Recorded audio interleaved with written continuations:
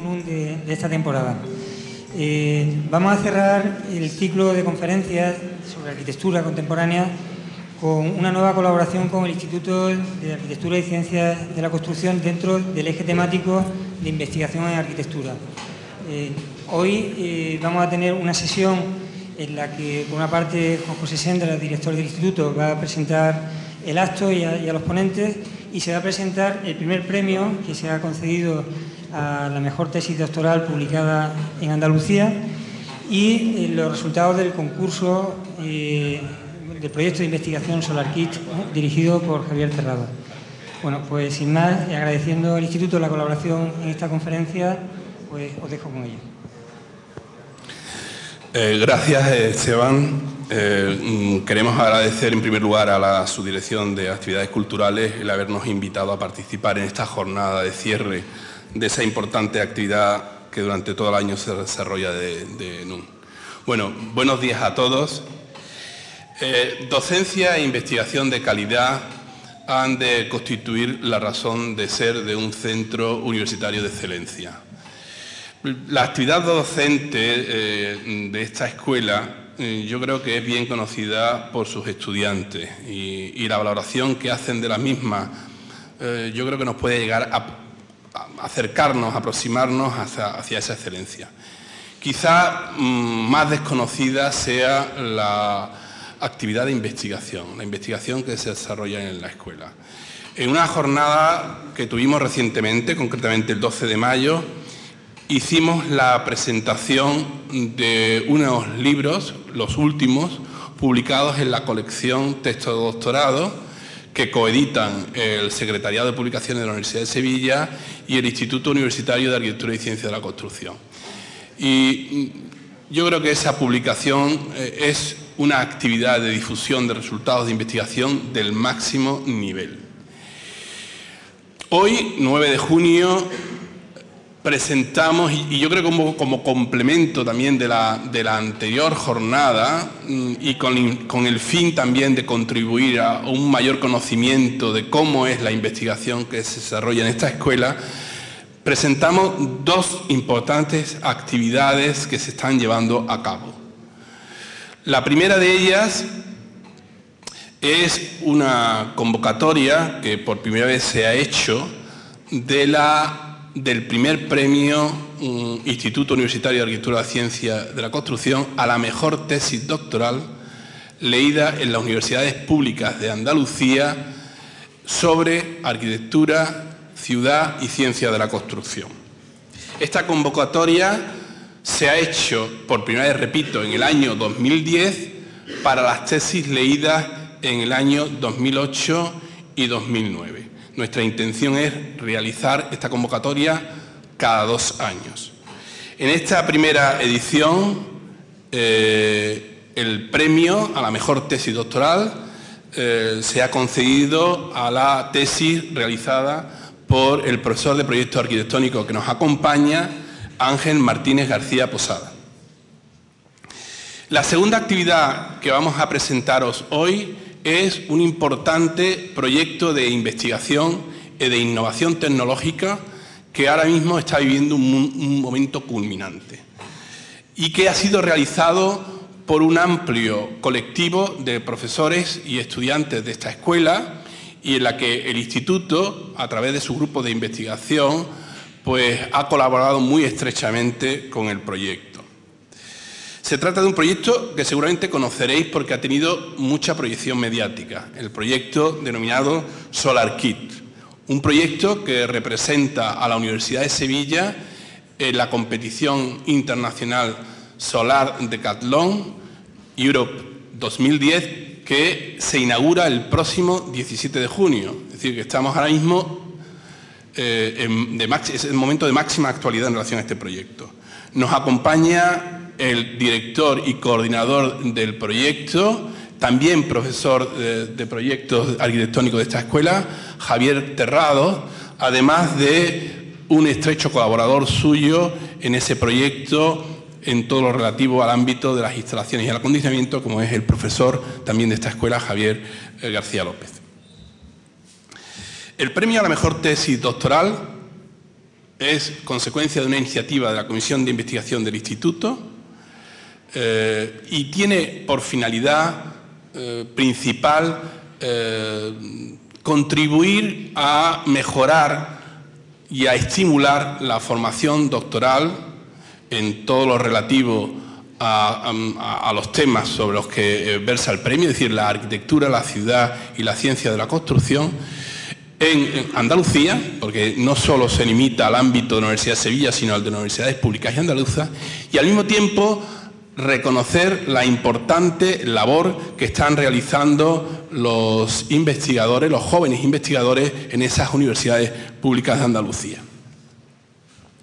La iniciativa ha tenido muy buena acogida entre eh, esos jóvenes investigadores de Andalucía y eh, en esta primera edición del premio, es decir, algo que estamos mm, inaugurando y que no conocíamos muy bien cómo iba a funcionar, se presentaron un, total de 15 tesis doctorales o 15 autores de tesis doctorales a, solicitaron un poco acudir a este, este premio sus nombres y títulos de, los trabajos, aunque me imagino que con cierta dificultad eh, se ven en, la pantalla. Sí os destaco que de las 15 tesis doctorales, porque da un poco medida, un poco del ambiente de, de, dónde se desarrollan estas tesis, 10 se realizaron en la Universidad de Sevilla, obviamente en esta escuela muchas de ellas, pero no solo en esta escuela, cuatro en la Universidad de Granada y una en la Universidad Pablo de Olavide. En una primera reunión del jurado, tras la lectura de las 15 tesis y un debate que hubo profundo y en algún caso muy, muy rico sobre las mismas, se dejaron en cinco, o se, estimaron cinco tesis finalistas, que son también las que veis remarcadas en, esa pantalla. Cuatro de ellas eh, de la Universidad de Sevilla y una de la Universidad de Granada.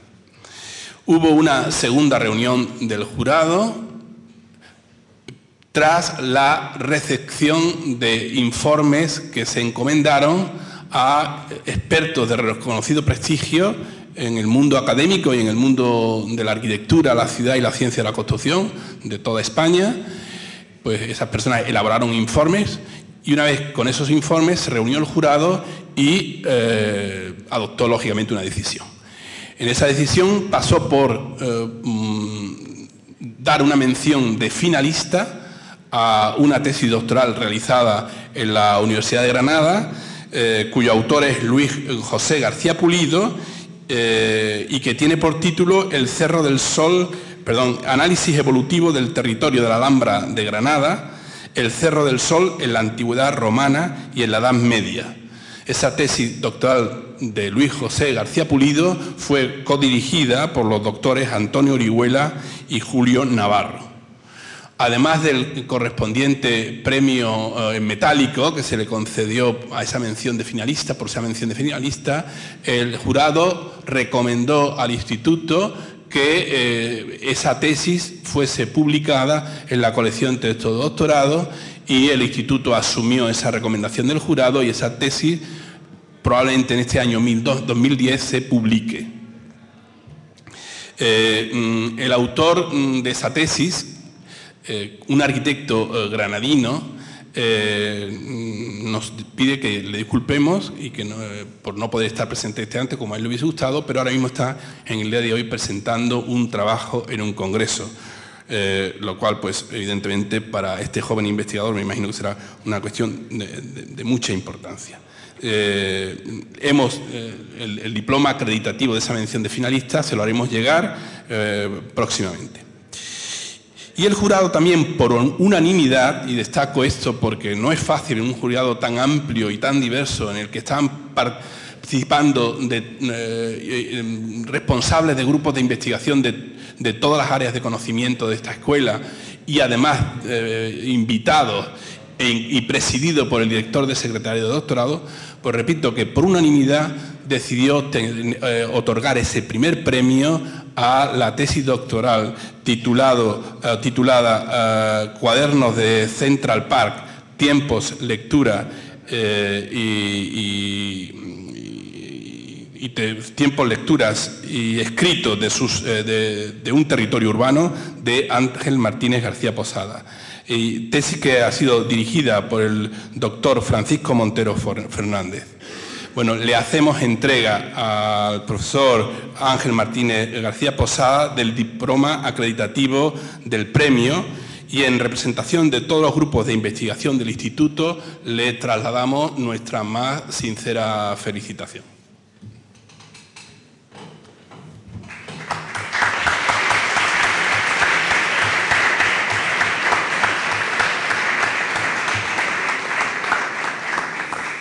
Bueno, esta tesis será publicada en la colección Texto Doctorado, también eh, mm, en este año 2010 y a continuación damos la palabra al profesor Ángel Martínez García Posada para que en un breve espacio de tiempo nos haga una exposición de esa tesis. Hola, buenos días. Quisiera agradecer al profesor Sendra y al Instituto de Ciencias de la Arquitectura y de la Construcción em, que emprendiera este proyecto de concurso a la mejor tesis doctoral en materias de arquitectura, ciudad y ciencias de la construcción, que para mí ha sido una alegría ganar en esta primera edición. Es posible mm, que, la frase de mm, en tiempos de crisis el arte toma las riendas em, se haya convertido ya en una especie de lugar común para un grupo de profesores de esta escuela y de amigos que em, me vuelven a acompañar hoy en estas primeras filas pero yo pienso que no por repetida deja de ser cierta. ¿no? Para alguien que, como yo defiende la continuidad indisoluble entre proyecto e investigación, entre arquitectura y creación, entre idea y acción, realidad y ficción o entre el arte y la vida, esta frase podría ser enunciada como en tiempos de crisis el pensamiento o la investigación toma las riendas. Yo creo que es así como la iniciativa de un premio como este, como cualquier ayuda de esta índole a la investigación, eh, se hace digna de ser celebrada y mm, me parece justo reconocer el valor de este tipo de estímulos a la investigación académica, que a veces resulta una labor demasiado incierta, ¿no? más allá incluso de la condición poética que pueda tener toda incertidumbre. ¿no? Para mí hablar hoy de esta tesis, dos años después de su lectura en este mismo aula Manuel Trillo, tiene algo de paradójico en varios sentidos. Para mí, aquello no fue algo que concluyera esa mañana, sino que sigue siendo un proyecto abierto, continuamente abierto sobre mi mesa, a la espera de nuevos encuentros. Y así pienso que no tiene sentido resumirla como si fuese una obra cerrada que uno pudiera contar en pasado. La investigación de un lugar concreto, pienso, es como cualquier proyecto, un punto de partida privilegiado para dar forma a pensamientos o a ideas sobre ciudad y sobre arquitectura y la continua investigación que en realidad puede llegar a ser la vida en ella. Y pienso que las investigaciones como los proyectos pues no se acaban nunca. En la tesis traté de explicar precisamente que era imposible abarcar por completo un lugar o un territorio y además, estimo que cuando una tesis se funde completamente con la propia trayectoria personal, y yo no veo cómo podría ser de otra forma, el documento entregado es solo una parte de un trabajo mucho más amplio e igualmente inabarcable. Y mm, pienso que un discurso que pretendiera contar la tesis que uno ha desarrollado durante años eh, sería tan difícil como si uno intentase contarse a sí mismo. Yo en el prólogo de la tesis narraba, por ejemplo, algunos de los capítulos que tenían que ver con mi estancia en Nueva York como investigador, la manera en la que la vida se fue enlazando o entrelazando con el propio tema. Y acababa citando un cuento que define esta idea central. Es ese relato de Cortázar, de título casi apropiado para la propia tesis, Continuidad de los parques, en el que el lector de una historia acaba formando parte de ella, ¿no? Como si uno pudiese decir eso de, em, de que uno es parte de, la materia de su libro, ¿no? Yo creo que en cualquier caso una tesis doctoral también puede hablar de otras cosas, eh, puede establecer miradas laterales, acercarse o alejarse voluntariamente de la materia central. Podríamos decir casi que no hay literatura, como yo creo que tampoco hay proyecto, sin una segunda historia que esté siempre presente. Creo que mientras investiga, estudia o proyecta, el cuaderno de un arquitecto se llena de notas que tienen que ver con el argumento central de sus páginas, pero también de otras cuya presencia solo el autor sabría explicar. Em, es algo que, por otra parte, eh, ya he dicho en algún otro lugar muy recientemente. Yo creo que por eso tal vez lo más apropiado sea hoy intentar transmitir como el espíritu que subyace en toda la tesis. Em, y creo que necesariamente eso va a conllevar, vosotros lo veréis, un cierto retrato de mi propia carrera investigadora. He preferido, mientras lo hago, proyectar eh, una selección de imágenes en el orden aproximado en el que fueron eh, recopiladas en el cuaderno que entregué como documento final burocrático de la tesis, pero que yo desde entonces he ido barajando em, y mezclando con cualquier otra imagen nueva que ha pasado sobre mi mesa. Por eso hablaré sin detenerme específicamente en ninguna, dejando que conformen como un tapiz heterogéneo que cada uno pueda expandir en múltiples direcciones, como si conformaran un icono de esta condición libre y abierta que yo asumo que ha de ser propia de la investigación, ¿no? como una música de fondo, porque estimo que la tesis eh, tiene algo de polifonía, como de superposición de secuencias, de datos objetivos, pero también de pensamientos subjetivos. La primera parte de la tesis, eh, que yo nombraba como tiempos, establece una síntesis de la historia de Central Park, como un resumen de datos y hechos objetivos. ¿no? Había una división por etapas, desde el origen del proyecto, el concurso inicial, la transformación eh, que le aporta una figura trascendental en el Nueva York del siglo XX, que es Robert Moses, los pensamientos que hacía Le Corbusier en torno a la ciudad, específicamente en torno a, la ciudad de Nueva York, una cierta visión patrimonial del parque o una mirada contemporánea propia de una figura relevante como Robert Smithson. A través de la elección selectiva de personajes, del énfasis en ciertos acontecimientos, de saltos en el tiempo, de procesos de duración variada y de índole diversa, yo pretendía explicar el origen o el desarrollo, en definitiva la trascendencia del, territorio de Central Park en medio de la, ciudad de Nueva York. Y en la segunda parte, lecturas y escritos, que junto con la iconografía em, venían a ser el resultado de una parte más personal de la investigación, pretendía dar respuesta a ese deseo de señalar conexiones ¿no? de marcar cruces y tangencias. ¿no? Igual que el acto de proyectar tiene algo de proyección de la persona sobre la realidad, yo creo que la investigación sobre proyectos y lugares tiene también algo de exteriorización de un modo de leer o de, o de ver el mundo. En ese sentido, la tesis se acerca en algunos casos a la labor del historiador que rastrea datos o referencias, pero en muchos casos, eh, al final, el proceso eh, deviene en un libro híbrido entre el manual de proyectos y el de viajes, entre la colección de apuntes sobre historia de la arquitectura o el cuaderno de notas sobre semblanzas de arquitectos, pensamientos, ideas, sentimientos, percepciones. Me parece que en realidad es como el proyecto de arquitectura eh, la posibilidad de un encuentro de objetividades y subjetividades.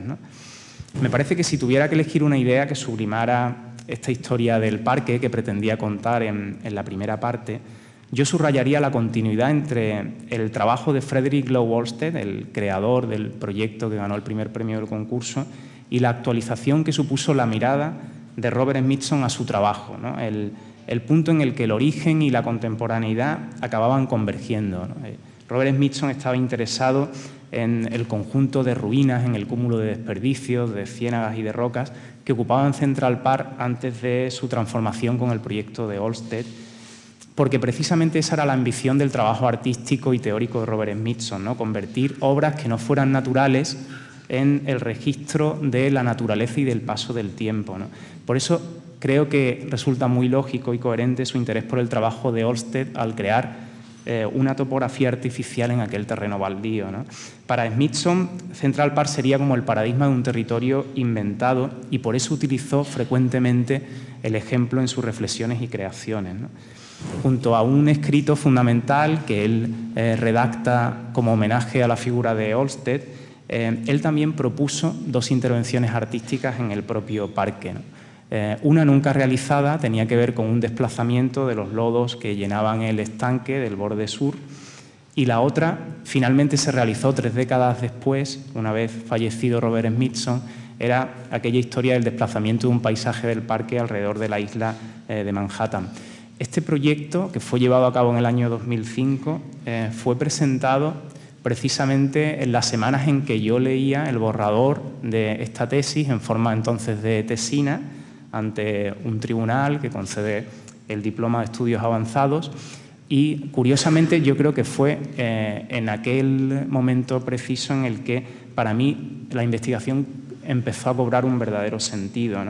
Em, igual que Smithson, em, tan interesado en los desplazamientos en el tiempo y en el espacio, conseguía a título póstumo invertir la relación entre lugar real y representación eh, y dejaba su huella en Central Park, yo me sentía como transitando el mismo vector que en realidad caracteriza la obra de cualquier arquitecto, ¿no? el que va del papel al territorio. A mí me parece que hubiera sido por ello emocionante ver trabajar a Olsted eh, sobre su mesa, ¿no? cuando eh, daba forma en aquellos inicios al territorio del parque, ¿no? cuando en sus paseos nocturnos, de la mano de eh, su colaborador Baux, reconocían aquella superficie que luego iban a modificar, ¿no? ideaban alteraciones topográficas de aquel paisaje en el que incluso llegaron durante esos meses a vivir. ellos también transitaban ese vector en ambos sentidos que va del plano al territorio, ¿no? que es, ya digo, la esencia del trabajo de cualquier arquitecto. Comparto, igual que Smithson, la admiración por el trabajo de eh, creadores de este tipo que son capaces de intuir la inmensa potencialidad de un territorio. Em, creo que la figura de Robert Smithson también me valdría hoy para explicar esta condición paradójica de la tesis como un espacio abierto y heterogéneo. ¿no?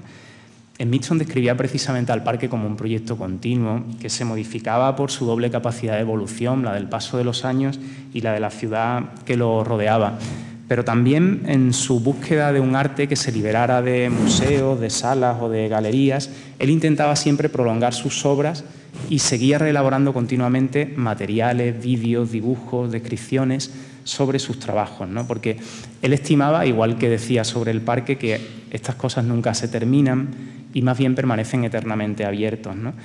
Desde la evidente lejanía, eh, a mí me gustaría decir lo mismo de una investigación de este tipo, que recorre, igual que Smithson, en este doble sentido, eh, el camino que va de la documentación a la experiencia o del territorio a la representación, del pensamiento a la acción o casi de la historia a la geografía. Eh, creo que nadie mejor que él sintetizaría esta idea de que una investigación, como cualquier obra, se mueve entre el rigor y el azar. Em, cualquier investigación comparte ese interés tan suyo por los libros, pero también por las exploraciones, como él se definía como casi un arqueólogo del presente, ¿no? dejándose llevar por la entropía o, el azar. Casi que uno, hoy que no está delante del tribunal, como en el día de la lectura, tendría que reconocer un acto de este tipo, por, por coherencia smithsoniana, que en realidad el personaje y el conocimiento de la figura de Smithson o de su relación al menos con Central Park eh, para mí surge como otro encuentro más azaroso y que nunca fue realmente planificado. Mm, en la tesis o en la segunda parte de la tesis, en lecturas y escritos, aparecen cuestiones a propósito de Central Park, pero que en realidad pueden trazarse como generalidades en torno a la ciudad y el territorio, la implantación eh, o la eh, fusión de naturaleza y artificio, los límites de un espacio urbano, categorías como potencialidad, simultaneidad, em, escala para un arquitecto que al proyectar lo que está haciendo es describir de la forma más precisa posible realidades que todavía no existen, una tesis sobre una ciudad o sobre un lugar eh, o sobre una idea o un pensamiento en torno a estos conceptos es un lugar para la investigación y la mirada personal. Por eso creo que resumir esta otra segunda parte también es un empeño complejo. Repasando las páginas, em, ahora que la tesis ha resultado premiada, y después de este año haber publicado dos libros, uno como autor, otro como coeditor, em, que en cierto modo son dependientes de esta tesis, cada uno por diversos motivos, cuentos de tiempo sobre arte y arquitectura y cuaderno rojo, me gustaría ensayar hoy un intento de em, contar eh, fragmentariamente eh, la tesis, em, condensando a través de pequeños detalles ideas que yo estimo extrapolables o generales. Con esa misma técnica con la que casi se podría componer un relato breve. Y por eso quiero hacerlo precisamente a partir de tres cuentos, que vendrían a añadirse al que citaba inicialmente de Cortázar de continuidad de los parques. Son tres cuentos que conocí después de dar por cerrada, burocráticamente o provisionalmente, la tesis, el cuaderno de Central Park, para su defensa, y que por lo tanto ejemplifican hasta qué punto todo trabajo sigue siempre en marcha. El primero es de Vladimir Nabokov y se llama El tiempo y las mareas. Es un relato de una extraña belleza en la que un anciano americano, em, ambientado en el siglo XXI, en el año 2024, evoca la América de los años 40. ¿no? Es eh, como una extraña presencia de la ciencia ficción en Nabokov. El narrador, sentado en un banco de Central Park, registra el mundo que lo rodea y la continuidad de la ciudad y la naturaleza. Y mm, en parte eso habla de los aspectos que desarrolla esta tesis, ¿no? que tiene sentido por la presencia de un lugar, de una inmensa superficie, rodeado de la ciudad que lo rodea, si no esta tesis jamás hubiera sido. Y ah, tiene sentido también por la sorprendente planificación a priori de un trazado de un rectángulo blanco sobre fondo blanco cuando la ciudad de Nueva York entonces solo era un proyecto abstracto sobre un plano de una comisión urbanística, mm, que ya de por sí es como otra idea casi de ciencia ficción. Esto eh, a un arquitecto ha de servir como invitación permanente al estudio Em, que parte de un fragmento ejemplar, pero que permite trazar conexiones de cuestiones eh, generales relacionadas con la arquitectura, con la ciudad, con la naturaleza, con la construcción del paisaje, con el planeamiento, con las teorías del espacio público, con el vacío, las infraestructuras y los usos urbanos, las ideas de permanencia y temporalidad, las relaciones de la escala o la dimensión del tiempo, el parque casi como una medida de la ciudad o como un registro del ciclo natural de las horas, de los días o de las estaciones, ¿no? como hace el propio protagonista anciano del relato de Nabokov. Yo creo que es precisamente la justaposición de ciudad y parque la que da sentido a la tesis. Y curiosamente, en un libro también fundamental para el trazado de, este cuaderno, cuando las catedrales eran blancas, de Le Corbusier, su colección de escritos eh, a propósito de su primera visita a la ciudad de Manhattan, Em, hay un escrito en ese libro que tiene una condición en esencia similar al relato de Nabokov. Es una descripción en la que Le Corbusier intenta ser poético y narra en qué consiste la percepción de la noche en Manhattan. Leyendo mucho después el cuento de Nabokov, volví a remitirme a esa historia del relato de Le Corbusier, a un, curioso Le Corbusier que jugaba casi a ser como Cortázar. Creo que la arquitectura tiene en realidad algo de descripción del universo a través de fragmentos concretos y que la tesis pretende o tiene algo de esa pretensión. En ocasiones repartimos a nuestros alumnos aquella nota de clase de Vladimir Nabokov que un día eh, me descubrió o nos descubrió Ricardo Alario, que explica que a pesar de que nuestra vida no sea lo bastante larga y libre como para que uno pueda estudiar en profundidad Em, cualquier tema concreto, eh, sin embargo, encuentra como un asomo de consuelo del mismo modo que el universo entero puede contemplarse replicado en la estructura de un átomo. ¿no? Dice Nabokov que un estudiante inteligente puede encontrar una pequeña réplica de todo el saber en un tema que escoja para una investigación específica. ¿no? Él, desde luego, lo logra en este cuento, mezclar lo inmediato con lo remoto, y yo creo que esa es otra de las paradojas a las que aludía inherentes a la investigación. El equilibrio entre la curiosidad del investigador y la reticencia a la especialización que le obligaría a ir dejando cosas atrás. Justo en la semana en que entregué a la imprenta el, trabajo del cuaderno de Central Park, yo leía la novela Tokyo Blues de Haruki Murakami. Y recuerdo el pasaje en el que el protagonista sube a una azotea y lleva en un bote una luciérnaga. Desde las alturas él contempla las luces de la ciudad y en su recipiente la luciérnaga brilla débil frente a la noche. ¿no? Y al, dejarla salir del bote levanta el vuelo y él sigue su estela hasta perderla. A mí me pareció que aquel par de páginas era como un hermoso cuento en mitad de una novela. Era como la historia de un halo enfrentado a, la inmensidad de la ciudad, como el recuerdo o el intento de seguir un rastro en la penumbra, la metáfora de la soledad de aquel protagonista. Em, Y a mí, en aquellos días en los que yo acababa el cuaderno, me recordó al epílogo con el que yo creo que de un modo ingenuamente personal, con cierta torpeza, yo trataba de evocar la primera sensación que tuve en mi primer paseo por el parque. Eh, un paseo nocturno en el que advertí la presencia, para mí sorprendente, de luciérnagas. Y pretendía expresar con aquel párrafo eh, la dimensión simbólica que para mí presenta Central Park, ¿no? que hace que desborde su referente real y sea como un escenario que va a revelar asociaciones con geografías o con obras diversas. ¿no? Y eso explica la mayoría de las páginas del cuaderno. ¿no? Creo que hay, ya digo, algo de paradójico en la investigación sobre arquitectura y que para mí, que también escribo arquitectura, quiero decir que proyecto arquitectura, escribir de arquitectura sería casi como iluminar con una luciérnaga la inmensidad de una ciudad que está llena de luces muy brillantes. Precisamente Murakami ha referido alguna vez la diferencia entre escribir novelas y cuentos. El escritor japonés los asimila, de hecho, a la diferencia que existe entre crear un gran parque o un pequeñísimo jardín. Los dos procesos se van a complementar y acaban por construir un paisaje completo.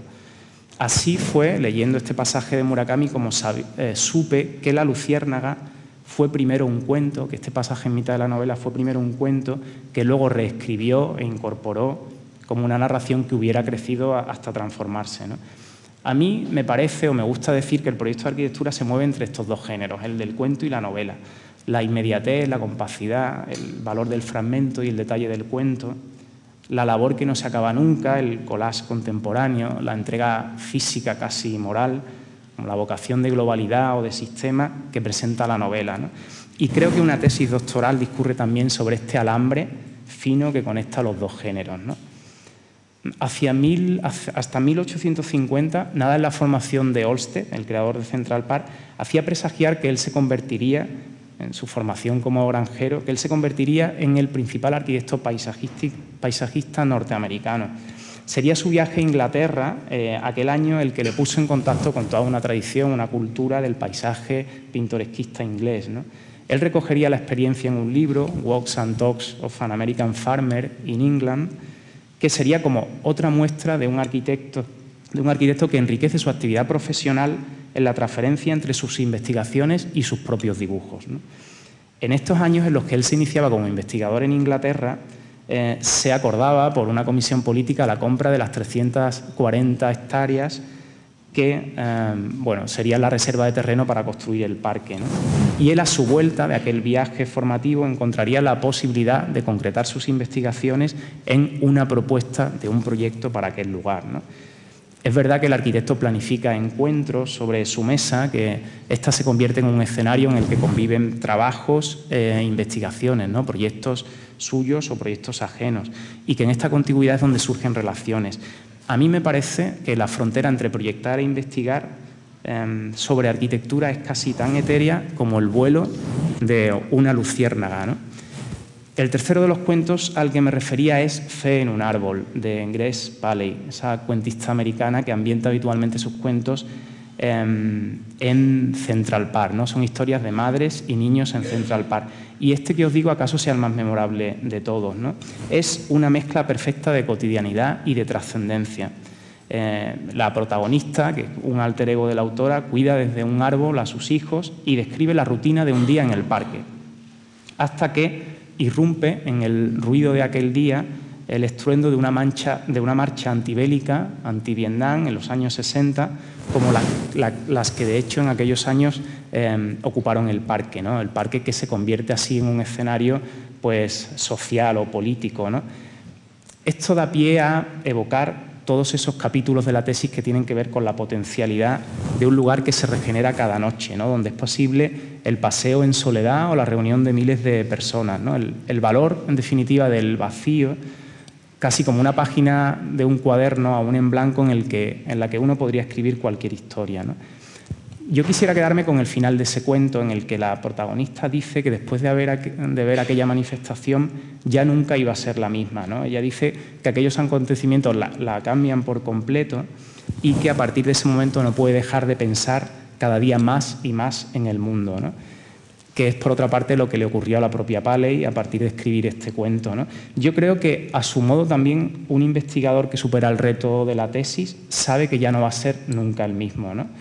Yo creo que mm, uno siempre está marcado por una investigación de este tipo y observando con distancia el trabajo, que quizá en su momento pretendí casi como una novela, ahora veo que en realidad lo que está es llena de cuentos que podrían cobrar vida o convertirse casi en un género en el que yo he ido descubriendo que me sería muy cómodo o que me es muy cómodo trazar asociaciones entre la arquitectura y otras cuestiones que tienen que ver con el arte con la propia vida.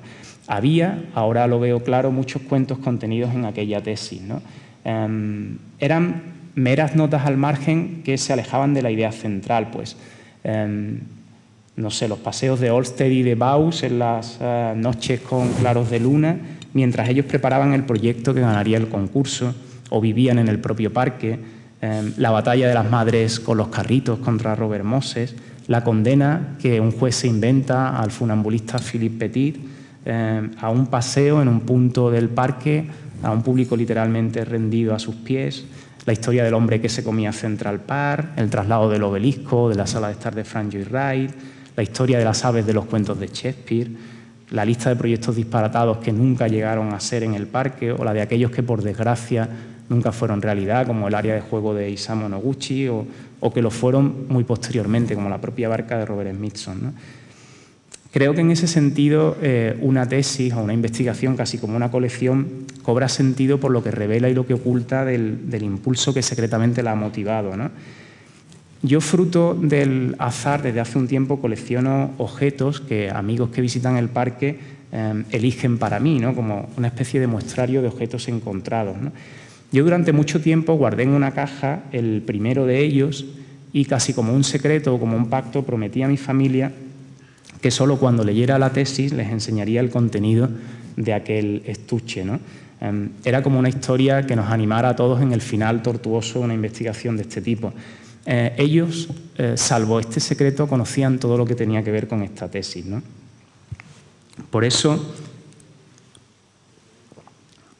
por eso Em, estaban en la dedicatoria emocional de la tesis, ¿no? mi mujer y mis padres.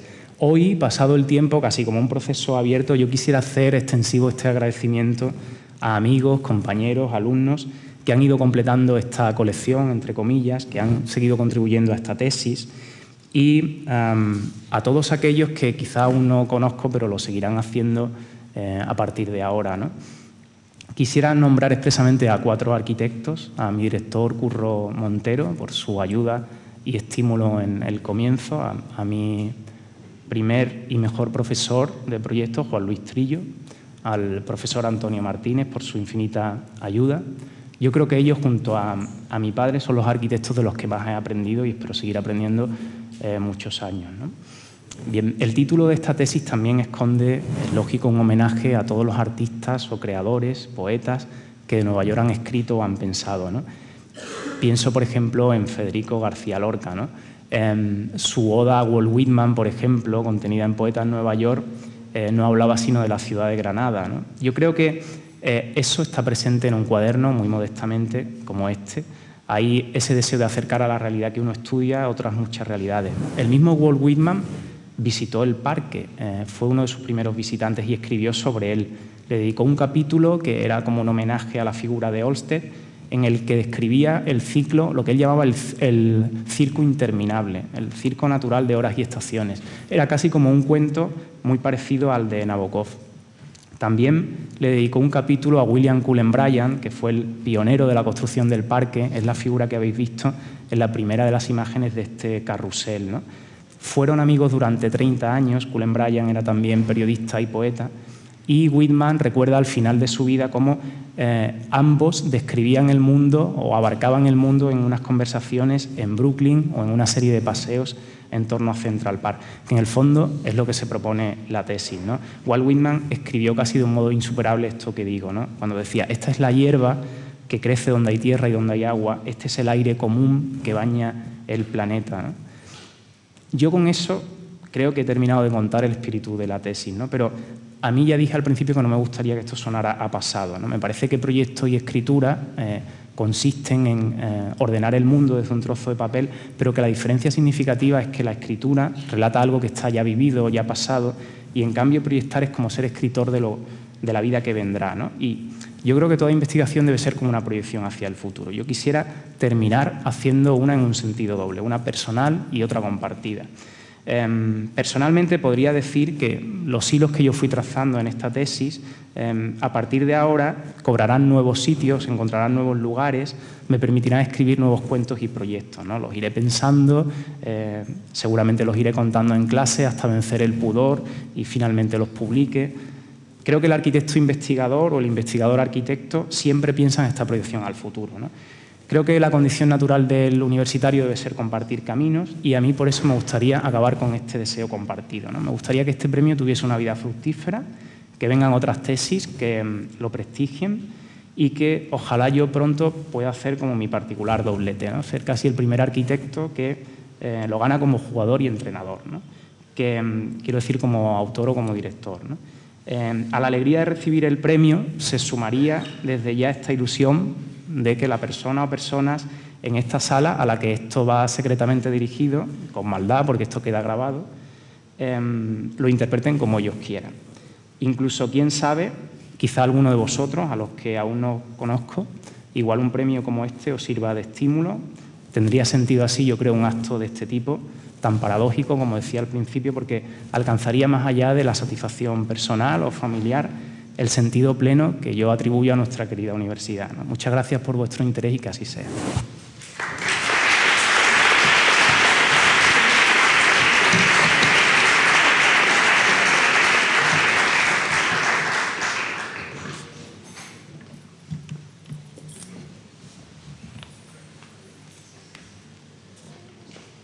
Bueno, eh, mm, Estamos, eh, como dicho anteriormente, eh, en el momento culminante de, un proyecto de investigación y de innovación tecnológica mm, que se ha estado desarrollando en esta escuela mm, durante casi un año o más de un año por un amplio colectivo de profesores y estudiantes de esta escuela que ha dirigido y coordinado, he dicho, el profesor eh, Javier Terrado.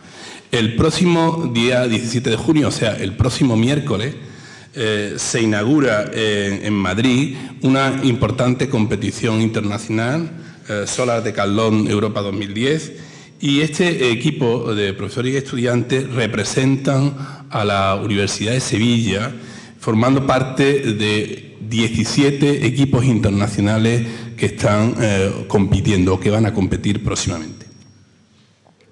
Eh, a pesar de los enormes problemas de espacio, eh, de infraestructura, de equipamiento que tenemos para acoger a un amplio colectivo eh, de profesores, de estudiantes, para un equipo amplio y, de las condiciones de trabajo que eso supone, a pesar de todo ello, a pesar de los problemas presupuestarios que el proyecto, de un proyecto de esta envergadura tiene en un momento de crisis del general, pero del sector de la edificación en particular, a pesar de las inclemencias meteorológicas que hoy eh, nos han sorprendido en pleno mes de junio, hoy llueve fuertemente en Madrid, digo, a pesar de todo ello, ahora mismo está construyéndose un prototipo, mm, resultado de este proyecto, a escala 1-1, en la villa solar que se ha habilitado en la ciudad de Madrid para acoger a estos 17 equipos que representan a 17 universidades de todo el mundo. Estos 17 equipos han pasado un duro proceso de selección, de tal manera que los participantes son los 17 proyectos elegidos. Y uno de ellos se está desarrollando en esta escuela. Conviene de vez en cuando eh, que somos tan críticos con nosotros mismos, hacer también una valoración positiva de la actividad que se quiere desarrollar. En parte, eh, obviamente el mérito es de todo el equipo, pero una parte muy significativa de ese mérito lo tiene el profesor Javier Terrados, que ha coordinado y dirigido durante este año la investigación y que muy amablemente ha interrumpido esa labor de construcción, y dirección de la, construcción de, este prototipo, Solar Kit, que hemos mencionado, para estar con nosotros. Agradecemos al profesor Terrado esa deferencia. Bueno, muchas gracias a Juanjo y aprovecho la ocasión agradeciendo también tu presentación tan amable, agradecer al propio Instituto de Universitario de Arquitectura y Ciencia de la Construcción su apoyo no solo en infraestructura, en sus investigadores que se han constituido en un elemento fuerte del equipo, sino en cuanto a la fe que han puesto también en el, propio proyecto. Yo creo que hace falta que, digamos, desde instituciones, pero concretamente desde estas entidades que se crean en las universidades para potenciar la investigación, hace falta que estén ahí y que hagan posible también estos trabajos desde lo, que, pueden, lo que pueden hacer. También quiero aprovechar la ocasión, que sea brevemente, felicitar a Ángel, que es buen amigo, por el trabajo y por lo que está haciendo y por lo que promete ser una, una labor de referencia. Él sabe que soy muy lector suyo y, la verdad que, lo felicito sinceramente. Aprovechando la presencia de Ángel, también tengo que decir que el proyecto de investigación de SolarKit se sitúa, podríamos decir, casi en el extremo opuesto de lo que es una investigación de arquitectura. En cierto modo, una manera de investigar, yo creo que un poquito ingenua.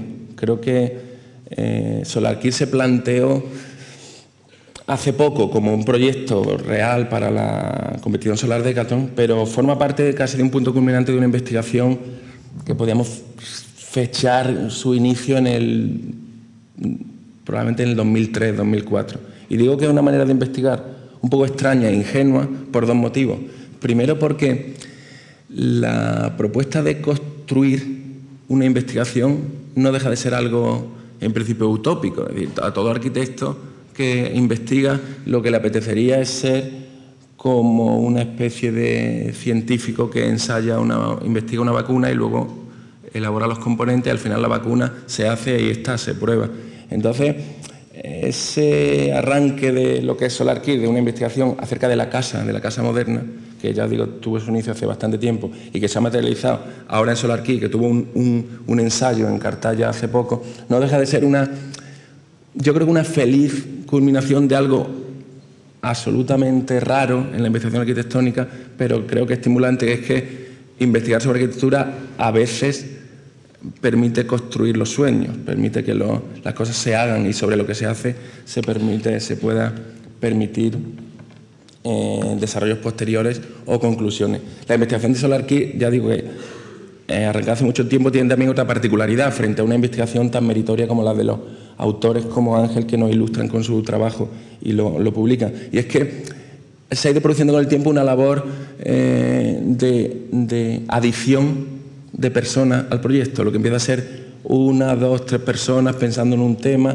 va ampliándose, va ampliándose, va ampliándose y con motivo de estos eventos se van adhiriendo departamentos, investigadores y al final SolarKit no es para nada algo individual ni de dos, tres personas. Eh, forma parte ahora mismo SolarKit, forma de, Solar, de forma parte de un equipo de más de 60 personas. 60 personas diríamos que de todos los estamentos. En esas 60 personas podemos rastrear desde catedráticos, profesores titulares, colaboradores, estudiantes, becarios, eh, profesores de otras eh, escuelas, como de escuela de ingenieros, profesores no exactamente de la escuela, sino vinculados a empresas de investigación vinculadas a la universidad, eh, profesores de otras facultades, más de 60 personas que han desembocado en este momento, ya ha dicho Juanjo, culminante de la construcción.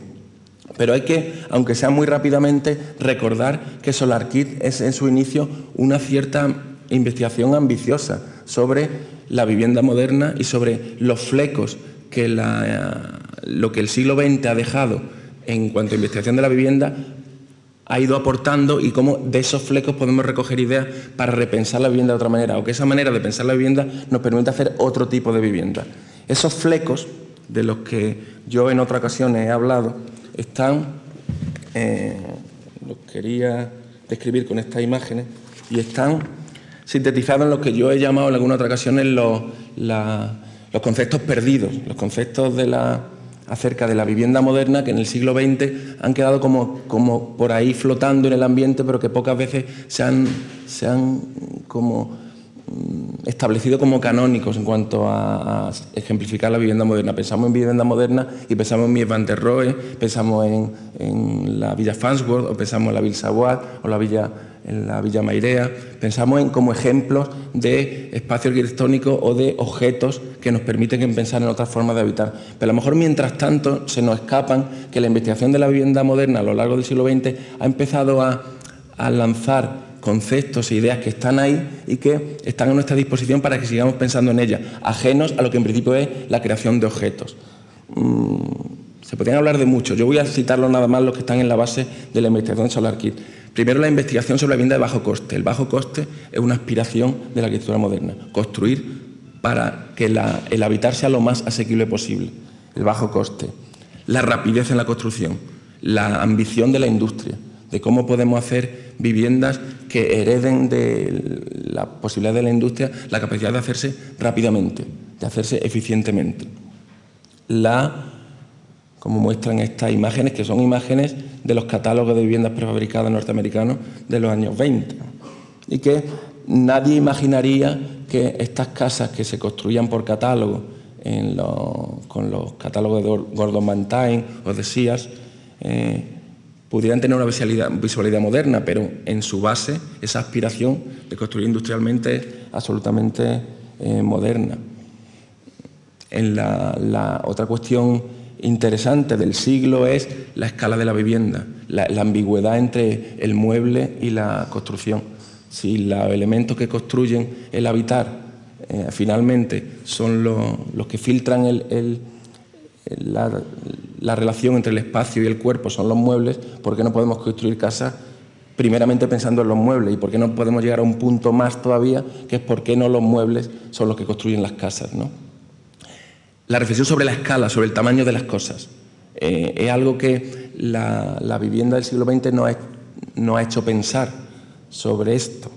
Eh, ¿Cuánto tienen que medir las cosas exactamente? ¿Cuál es la, lo mismo que el que fabrica un coche piensa al milímetro en lo que tienen que medir el espacio del cuerpo, el espacio del hábitat? ¿Por qué no podemos pensar hasta dónde podemos llegar en el tamaño de las casas, en cuanto a grande y también en cuanto a pequeño?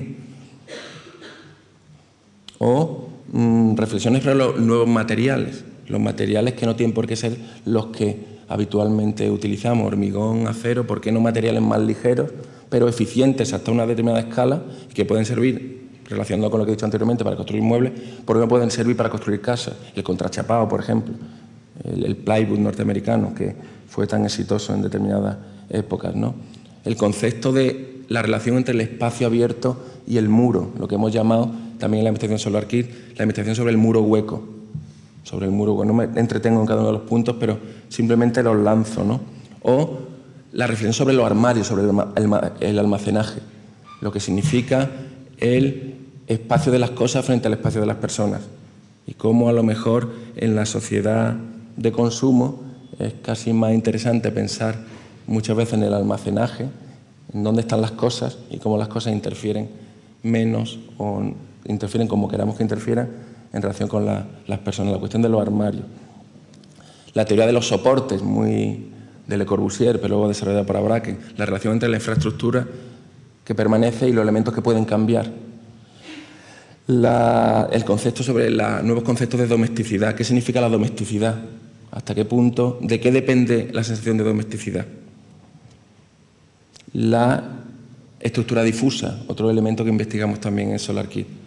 Estamos acostumbrados a pensar que la estructura de las viviendas tiene que parecerse a esqueletos porque estamos acostumbrados a pensar en pórticos de hormigón, pórticos de acero y a partir de un esqueleto claro y definido las cosas se construyen. En SolarKit construimos con estructura difusa, que creo que es una manera de, de pensar la estructura que puede ser adecuada para los elementos de pequeña escala. Las secciones constructivas, las secciones constructivas en general eh, están como poco exploradas en nuestro ámbito, eh, ámbito de cultura arquitectónica.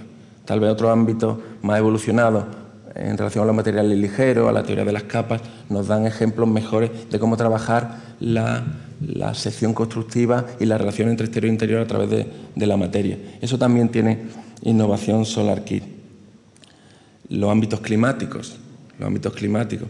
Por qué la arquitectura moderna, la visualidad de la arquitectura moderna se ha construido con ejemplos que están solo aquí, en este ámbito, cuando el mundo está lleno de esto. ¿no? ¿Por qué no podemos pensar la vivienda a partir de los artilugios climáticos que requiere cada sitio, aunque sea a costa de una determinada visualidad? Los nombres de los espacios, no quiero entretenerme acerca de esto, pensar en la vivienda con otros nombres de espacios, como esta casa de Schindler, donde las habitaciones no se llaman dormitorio ni se llaman mm, salón, sino se llama con el nombre de los habitantes. Mm, la experiencia del juego, ya lo veremos que, porque tiene relación con nuestro construir la casa como quien juega. los ejemplos norteamericanos son otro de los que estamos, están en, la batería de, legado del siglo XX, está toda una uh, playa de, ejemplos de reflexión sobre nuevas formas de construir la vivienda que tienen que ver con muchos de ellos con los restos de la arquitectura moderna que emigra a Estados Unidos como en el caso de mi Van der Rohe, y que deciden refundar determinadas cosas y determinados intentos fracasados, como este de, de Gropius en su momento, ilustran también posibilidades del asunto. Las casas empaquetadas de Walter Gropius son de ayuda. ¿no? Otro de los, de los lo que está debajo también de la investigación del Solar Kit, de la casa construida con Kit, es la cuestión eh, sobre la informalidad, sobre no construir objetos, sino eh, envolventes para el habitar, que no tienen por qué finalmente construir formas reconocibles. Bueno, la cuestión del peso, interesante, ahora precisamente que lo estamos construyendo, resulta crucial. La cuestión de la eficiencia del peso de las cosas. Esa pregunta tan famosa que hacía Fuller a Foster cuando era estudiante, de que habría que cuestionarse lo primero en un edificio, no cuánto peso es capaz de aguantar, sino cuánto pesa el edificio, como control de su eficiencia otros programas de uso, otras maneras de, construir espacios que no tengan que ser necesariamente habitaciones. Eso también lo tiene la casa de Solar Kit. Bueno, la cuestión de las islas, los espacios construidos a base de islas. Bueno, la tecnología relajada, el bricolaje, como, mm, digamos, un territorio todavía inexplorado, como entendido como un territorio arquitectónico no noble, pero que tendría que ser reivindicado. Las cosas no tienen por qué estar necesariamente siempre perfectas, bien acabadas y totalmente terminadas. El bricolaje nos ofrece ejemplos de las cosas pueden ser eficientes sin que tengan una visualidad con la perfección industrial que determinados ejemplos arquetípicos nos, reclaman. Bueno, quiero pasar por encima de algunos otros aspectos para no entretenerme, pero sí nos serviría todo esto para poner en suerte que me, gustaría también sobre esto hacer una determinada reivindicación de que la investigación, aparte de la singularidad de la que he hablado antes en nuestro caso, que termina siendo un elemento construido sobre el que incluso después vamos a sacar conclusiones, tiene que tener una componente, podríamos decirlo, de, en cierto modo de idealismo y también de paciencia, porque las cosas a lo mejor salen al principio o no salen o se van investigando, van saliendo o, pasa el tiempo y todavía no sale nada.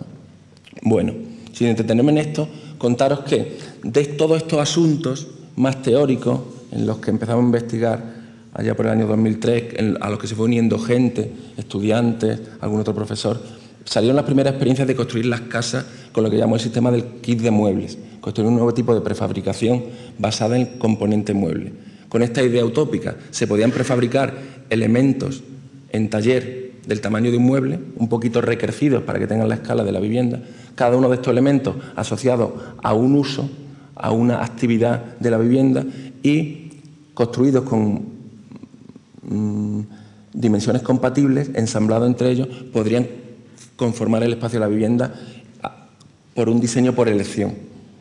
Estas eran las imágenes arquetípicas que colocábamos al principio, los muebles en el taller y los muebles a tu disposición para como en un juego cada uno, para que como en un juego cada uno se pudiera construir su vivienda. Una vivienda de VPO podría mutarse en una vivienda construida por muebles. Estos fueron los primeros trabajos de sondeo que hicimos con el sistema. Del tamaño de una vivienda de VPO, con cada una de las actividades asociadas a un mueble, podemos construir, ensamblándolo, una vivienda de ese tamaño, de 60 metros cuadrados, en dos plantas, construida con muebles. O, como en SolarKit, lo que proponemos, de una dimensión parecida, 72 metros cuadrados, con un programa que nos piden en Madrid, vamos a hacer lo mismo. Seleccionamos el tipo de mueble que la construye y construimos un tipo de espacio que tiene algunos de esos atributos de los que he hablado antes. Un espacio a la vez fluido pero compartimentado, no se distingue claramente cuál es cada función, pero sí contiene todas ellas dentro de cada uno de los, de los muebles. Mm. Si entrando ya en la planta, os diré que lo que estamos construyendo en Madrid, de lo que estamos construyendo en Madrid, el componente arquitectónico del que he hablado hasta ahora es una parte Mm, bastante, diría, alejada de ser la totalidad. Porque la competición Solar Decathlon, en la que ahora me extenderé después, está motivada por el Departamento de Energía de Estados Unidos.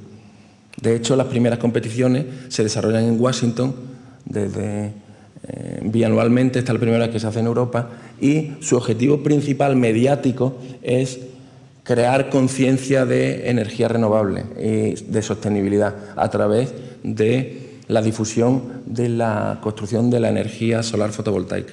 Entonces, uno de los primeros ingredientes que tienen que tener las casas que hacemos allí, aparte de ser casas prefabricadas, que se puedan montar en una semana y que sean casas del punto de vista arquitectónico novedosas, que tienen que ser totalmente autosuficientes por energía solar fotovoltaica, también sería energía solar térmica y cumplir una serie de pruebas. También nos piden un programa, y a lo que voy, un programa de usos que se refiere a que puede ser habitada por cuatro personas. Entonces nosotros proponemos una vivienda construida con los muebles,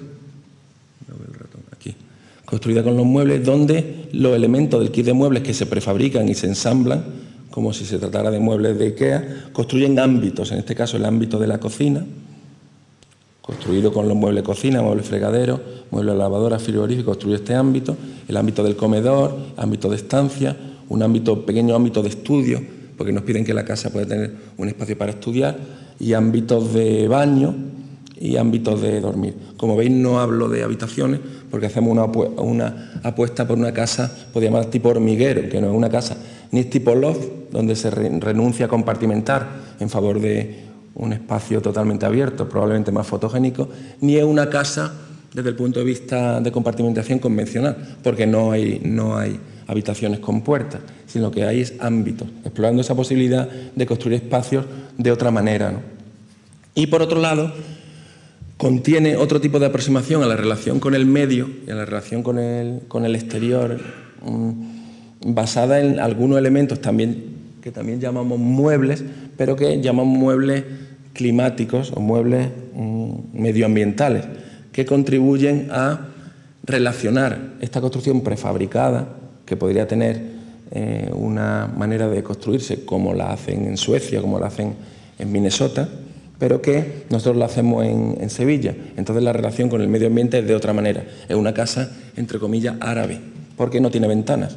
Tiene estos elementos muebles, son elementos que llamamos muebles patios, que se insertan estratégicamente en la casa para hacerla ventilarse con ventilación cruzada o iluminarse a través de, ellos. ¿no? no hay ventanas, sino que la casa se cierra al exterior.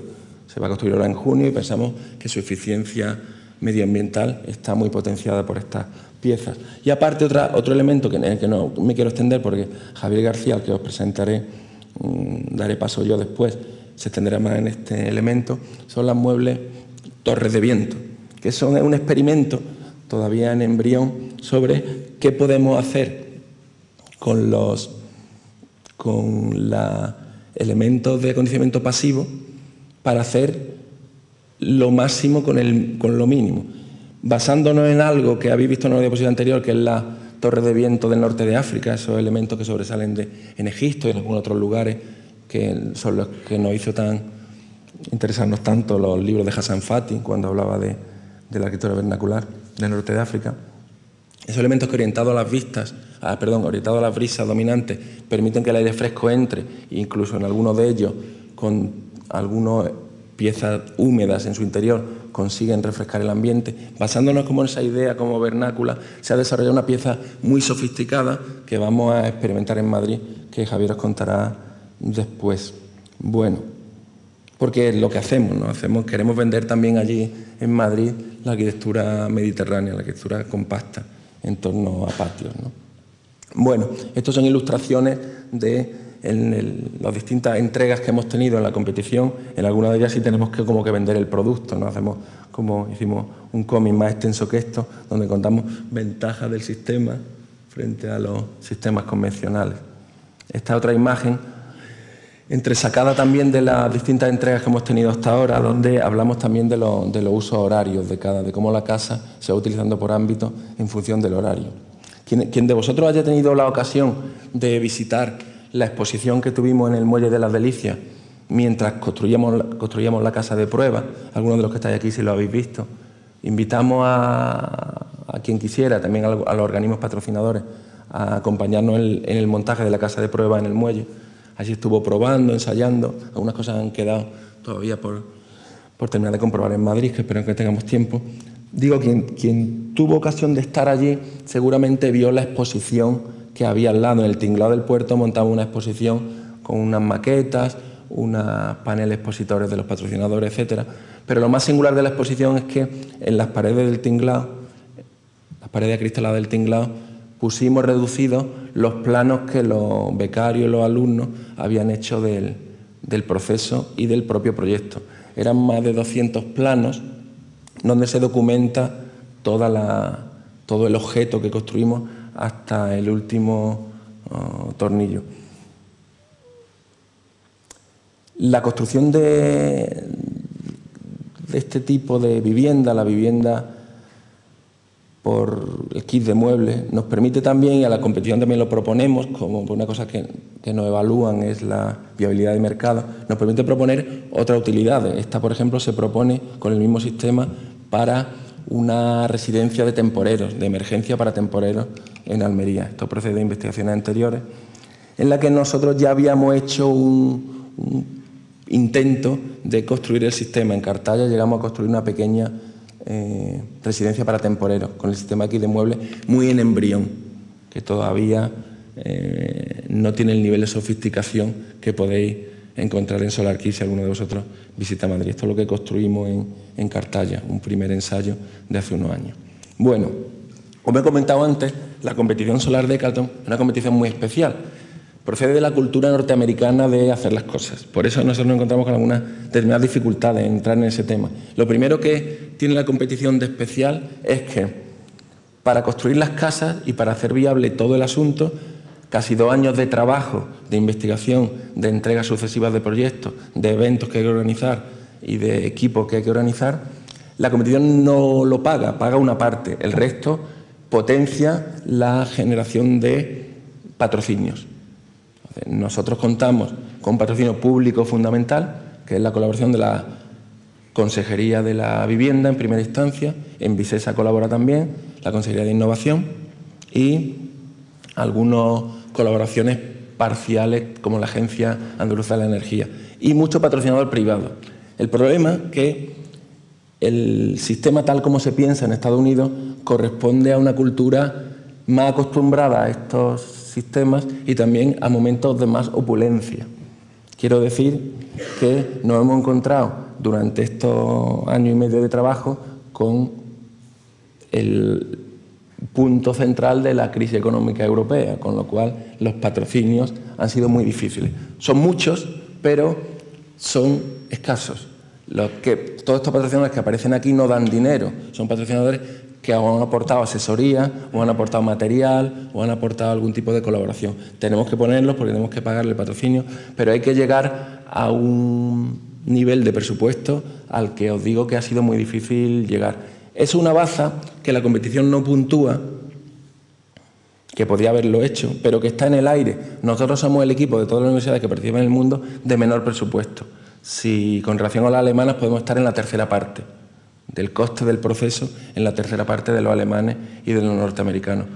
Tengo que decir que los norteamericanos, por ejemplo, la Universidad de Florida, a mí me comentaba uno de sus directores que ellos de patrocinios prácticamente no se preocupan, porque dos empresas petrolíferas mm, que tienen operación por allí, para desgravar tienen que meter dinero en energía en sostenibilidad. Entonces suelta a cada una pues dos millones de dólares así para cubrir ese expediente y ya se quedan tranquilos. Con lo cual, Bueno, como comprenderéis, nosotros trabajamos con otro tipo de cosas, de luego con dinero no, con ingenio y también con, capacidad de adaptarnos a las circunstancias. De hecho, una de nuestras principales dificultades es hacer la casa sin fallos, no hacer como hacen en otros sitios que la pueden construir dos o tres veces, sino que la primera que hacemos tiene que estar lo más eh, pulida posible. Y eso es, como comprenderéis, una gran dificultad. ¿no? Hay que agradecer también a todo el equipo. Las 60 personas de las que hablo han sido 60 personas y lo están siendo muy sacrificadas. Bueno, únicamente hacer referencia, porque creo que merece la pena que veáis imágenes del evento, de lo que se trata, de que la competición Solar Decade, donde participamos, como digo, por primera vez en Europa, tiene ya una tradición en Estados Unidos, una competición bianual que se desarrollaba aquí. Aquí está el Capitolio y esto es el Mall de Washington y aquí se hacía para que veáis la, repercusión mediática que, tiene allí. ¿no?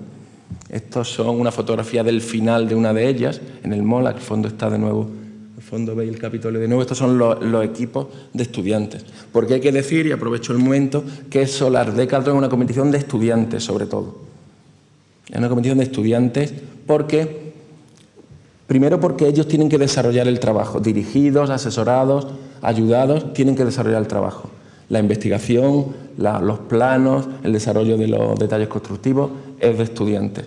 Y también la propia competición tienen que estar allí montándola, no ellos solos, evidentemente hay empresas construyendo, trabajando ellos, pero construyen las empresas colaboradoras y luego durante la competición los estudiantes son los que enseñan la casa y la explican a los jurados. Son ellos los, los protagonistas, los que llaman la competición de catletas.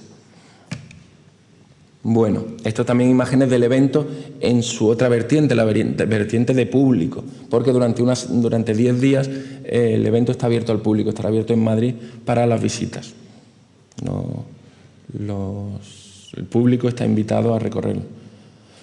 Bueno, esto es el tipo de, construcción que hay, ¿no? desde viviendas que serán más convencionales, más norteamericanas o más tipo Carrefour, que alguna de ellas ya está allí, ha llegado en camión allí a Madrid una casa más montada completamente, lleva un contenedor y se ha, se ha depositado allí y ya está montada. Nosotros vamos por otro lado, en general las casas se están montando por componentes. Bueno. Y estos son otro punto interesante, para nosotros crucial, son las pruebas que hay que superar, porque he hablado de competición, pero no he dicho que se examina allí. Pues las pruebas son estas, ¿no? Son pruebas de arquitectura, son las 10 pruebas, de arquitectura, solar, de bienestar, social, económico y estratégico. Simplemente la enuncio. Hay unas pruebas de diseño arquitectónico, diseño de ingeniería, unas pruebas de sistemas solares, de balance energético, de condiciones de bienestar, de equipamiento y funcionamiento, de comunicación y sensibilidad social, industrialización y viabilidad de mercado, innovación y sostenibilidad. Como veis, y aquí se ve en este siguiente ejemplo, parte de ellas se examinan con jurado parte de ellas son conjurados y parte de ellas son de medición in situ. ¿Qué quiere decir medición in situ? Que llega alguien con un termómetro o con un cuentavatios o con lo que quiera y cuenta lo que allí ocurre. ¿Qué temperatura hace? ¿Qué condición de confort tiene? ¿Cuánta energía consume? ¿Cuánto devuelve a la red? Etcétera, etcétera. Pero hay bastante de jurados. Este año en la competición europea las valoraciones subjetivas han aumentado Quiere decir que se prima más que otras veces el diseño arquitectónico y, la, por ejemplo, la viabilidad de mercado, lo que el jurado estime que tiene más posibilidades de futuro. Y ahí esperamos nosotros estar bien, bien situados. Tenemos más dificultades en los aspectos más tecnológicos, que dependen más del dinero, tenemos más, más dificultades. Bueno, esto es una planta de, la villa, de lo que se llama la Villa Solar, que está allá en Madrid montado, que es este sitio junto al Manzanares, junto al Palacio Real, en una zona que se ha ganado ahora porque está encima del, soterramiento de la M30. Esta es una imagen del sitio, una recreación del lugar. Y este, esta la pongo porque es una imagen bastante sorprendente de lo que ocurre debajo de donde estamos instalados allí. Os enseño de nuevo. Este es el sitio, el Manzanares, junto al Palacio Real, donde va a estar la feria, está la planta, y esto es lo que hay debajo. Debajo está toda la M30 recién construida, con lo cual había un aspecto interesante de la competición. Nos pedían, y, ese aspecto tiene que ver con algo de lo que contaba antes, la cuestión del peso, nos pedían a cada equipo que evaluáramos cuánto, cuánto pesaba la casa. Y a los equipos más ligeros, uno de los cuales éramos nosotros, nos daban mejores parcelas, porque había parcelas en rojo. donde no se podía tener excesiva, excesivo peso, porque los constructores del soterramiento de la M30 dan una carga límite sobre ese parque que hay arriba, con lo cual los equipos más ligeros podíamos elegir más parcelas. Los equipos más pesados solo tenían, tenían limitadas, no podían ni construir ni en las partes, en la zona de limitación de sobrecarga. Eso nos ha dado posibilidades de escoger mejor el, el solar. Luego ha habido un problema, cuando llegamos allí el solar no era exactamente el que nos habían prometido, estaba, en fin, ha habido determinados problemas con la organización. Pero en principio era una buena, un buen dato pesar poco, como en general en la vida. Mm. Esta es una recreación de lo que, del paisaje de allí, ¿no veis el Palacio Real al fondo? Bueno, y esto es de nuevo las imágenes. Voy a pasar simplemente haciendo referencia a lo que he comentado antes acerca del intenso trabajo que han desarrollado los alumnos y los arquitectos colaboradores y los investigadores en el proyecto, materializado más de 200 planos. Voy a enseñar algunos de ellos, ¿no? algo de lo que se ha ido haciendo. La sección de la, planta de la, de la vivienda, la sección de la vivienda eh, donde se aprecia que la innovación está en más sitios, porque hay que definir una cuestión que, por ejemplo, en Cartaya no estaba para nada resuelta, una cuestión muy complicada, que es la relación con el suelo. Parece una tontería, pero acostumbrados como estamos, que los edificios se cimentan, uno excava la cimentación, construye el enano, hace el primer forjado y tira para arriba, y del suelo uno se despreocupa, en el fondo uno se despreocupa del suelo cuando cimenta. Cuando uno quiere construir ligero, tiene que pensar muy bien cómo se asienta en el suelo si no hay cimentación, cómo se apoyan las cosas en el suelo. Cuando uno diseña sillas, se tiene que preocupar mucho de que las patas no estén cojas y que se asienten en el suelo. ¿Cómo se asienta en el suelo cuando es una casa ligera? Bueno, pues esto, no me quiero entretener, pero esto es pura investigación. Entre la gente, los becarios y los profesores del Departamento de Construcción que han estado asociados al proyecto, han estado con este tema bastante tiempo. Este diseño de, de una soporte de un trame especial apoyado sobre patas reguladoras, el diseño exclusivo del equipo SolarKit y que aparece en la sección mostrado. Bueno, falsos suelos, falsos techos, cubierta ligera y la cubierta de placas solares en esta, en esta hasta este punto llegamos. Cada mueble eh, diseñado como si fuera una pieza industrial, regulada, sección constructiva, componentes, eh, descripción de las piezas, etcétera. Cada mueble lleva varios planos. Paso simplemente por encima de ellos. Hay que hacer mención que ha habido una experiencia también pionera en este año en la, escuela con la creación de una asignatura de libre configuración de 12 créditos asociada al proyecto, de proyecto, construcción y también de instalaciones, donde los alumnos eh, han estado encargados durante un cuatrimestre de pensar y ser ellos mismos los que diseñen el interior del mueble pensando en criterios de funcionalidad y de diseño útil, cuáles son sus aportaciones al diseño interior de cada mueble, llegando al extremo, ya digo, de localizar al fabricante que fabrica una pieza de muelle especial que me puede valer para el mueble. Estos son resultados de esa, de esa asignatura.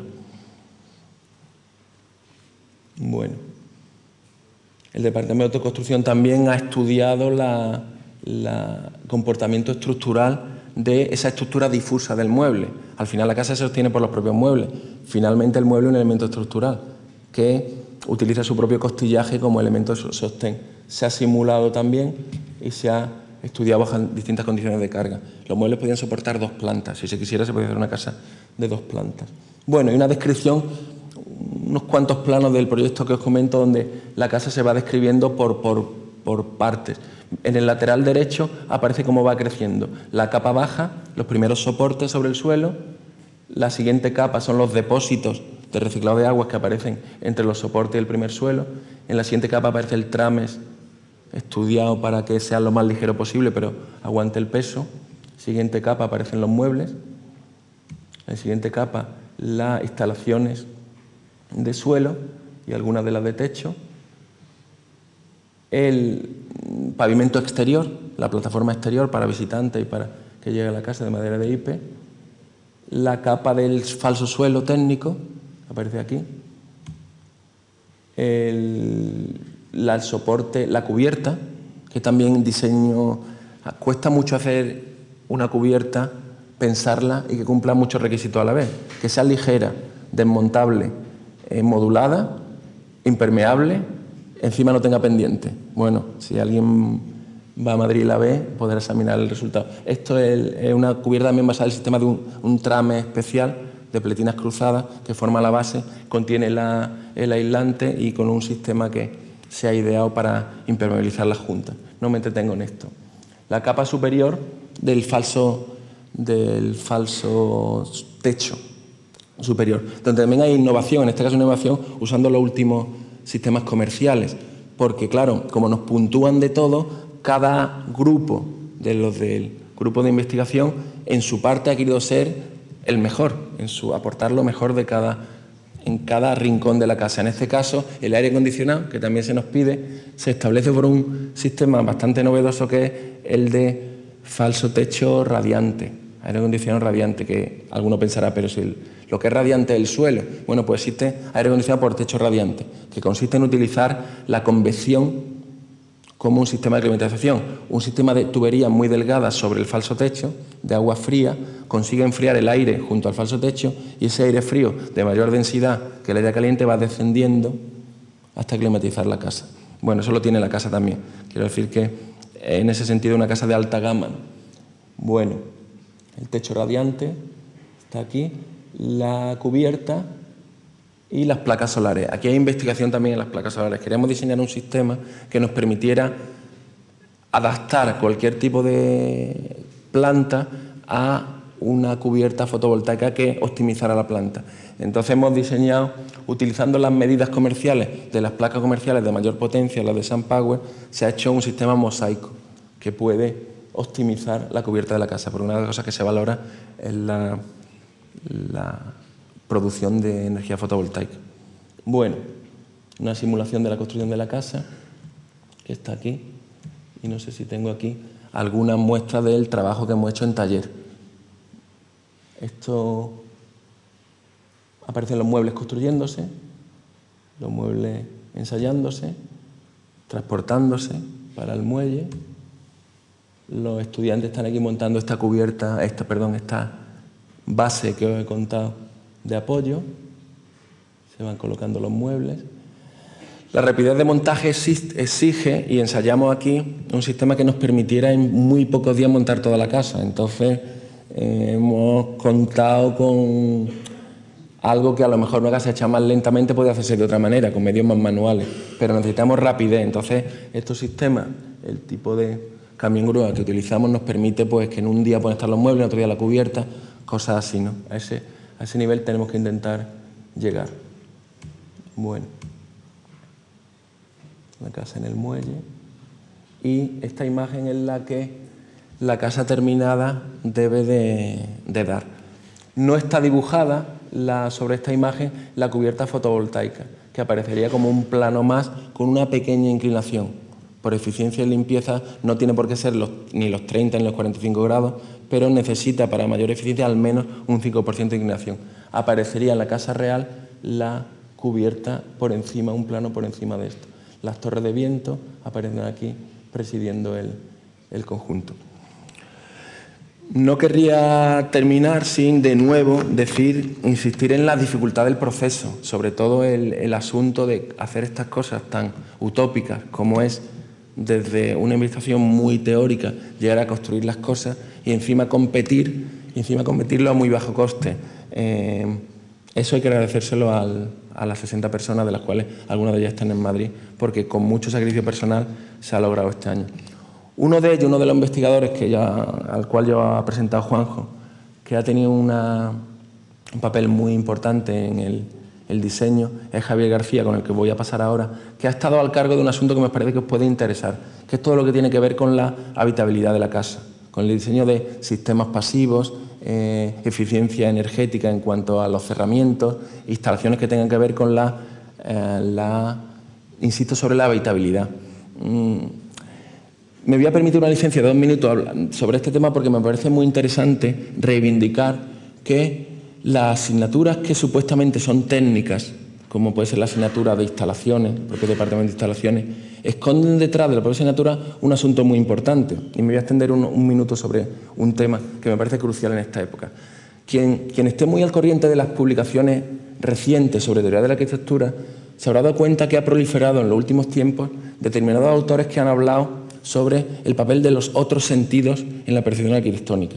El libro de, de Palasma, llamado Los ojos de la piel, que a su vez es una especie de recreación de un libro ya antiguo que se llama en inglés Experience in Architecture, Experimentar Arquitectura de, de Rasmussen, son como el arranque de una serie de publicaciones en las que también los escritos de Zuntor tienen que ver sobre la reivindicación de que la percepción arquitectónica no es primariamente visual, visual en el sentido de la visión de la visión centrada, sino que ni siquiera lo que nosotros vemos y experimentamos arquitectónicamente es visual centrado, sino que tiene que ver con la visión periférica y con los otros sentidos.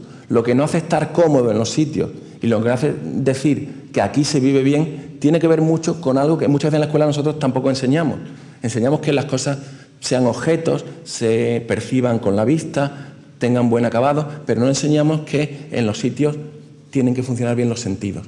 Y los sentidos este, en, un sitio tienen que hacer la temperatura adecuada, el aire que circula en aire acondicionado tiene que tener la presión adecuada, la luminosidad tiene que ser la adecuada, y eso es arquitectura pura y dura. Y rompo una lanza en este momento a favor de las arquitecturas técnicas, de que hacen arquitectura cuando piensan su, función en la docencia también desde ese punto de vista, de que, de que construyen el entorno de los sentidos y lo construyen técnicamente. En esa, quería hacer esta introducción, no quería dejarla, dejarla fuera, porque la propia competición prima mucho eso, miden todo tipo de cosas de habitabilidad, humedad, sensación térmica, eh, calidad del aire, todo esto, que tiene que ver con el confort y tiene que ver con nuestra percepción y nuestra calidad de vida. Por eso quería que terminara esta presentación Javier y se extendiera un poquito más sobre estos aspectos, entre los cuales el más simpático es el de la torre la torre, que ya no sé cómo llamarla, ya no solo captadora de viento, ya hace un montón de cosas, pero os dejo con él para que lo podamos terminar la presentación con esta cuestión, que no deja de ser una de las muchas que plantea la investigación sobre el arquí, pero que me parece muy, muy relevante y yo creo que amena, os puede gustar. Os dejo con él. Gracias.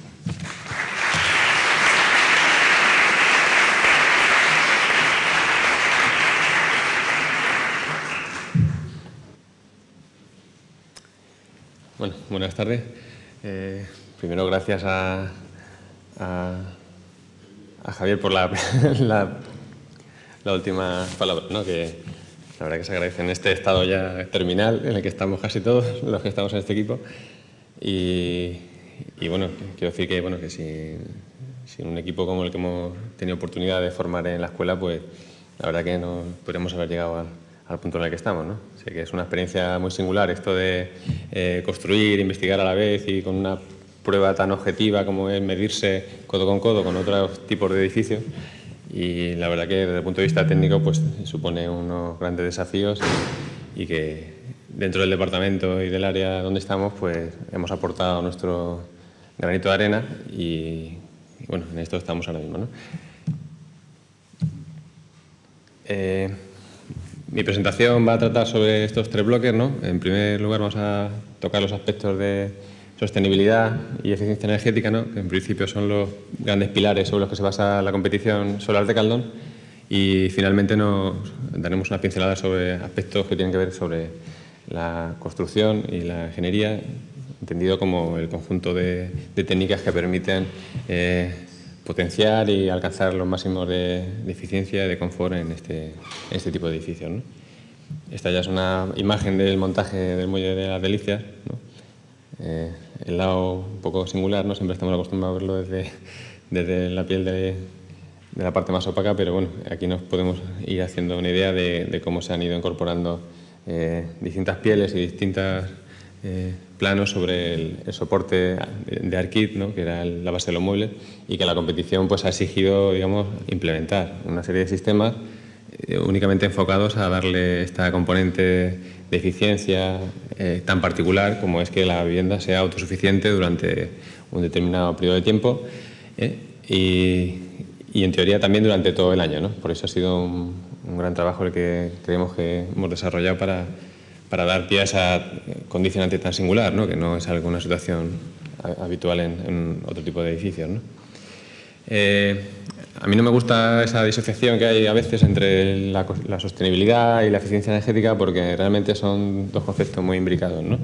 Eh, entiendo que La ecoeficiencia es algo que nos hace ver todo el ciclo o toda la vida de, un edificio, desde su eh, construcción, su propia creación, sus materias primas, eh, su vida útil, su fase de explotación, por así decirlo, y finalmente su vuelta al, medio, ¿no? manera de, de, reciclaje o de reutilización.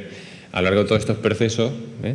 hay, una, hay un metabolismo realmente, un metabolismo a escala de edificio donde se producen unos intercambios de, de materias, de energías eh, y, y, en definitiva también de impactos al medio y todo esto pues están ligados digamos, fundamentalmente al consumo de materias primas y en particular al de la energía, que es un poco la base de, toda esta competición, ¿eh? que como sabéis en principio se trata de, partido por parte de los americanos, de, demostrar hasta dónde se puede llegar hoy en día en el punto de vista técnico del aprovechamiento de la energía solar, en su modo fotovoltaico y térmico que es el más particular.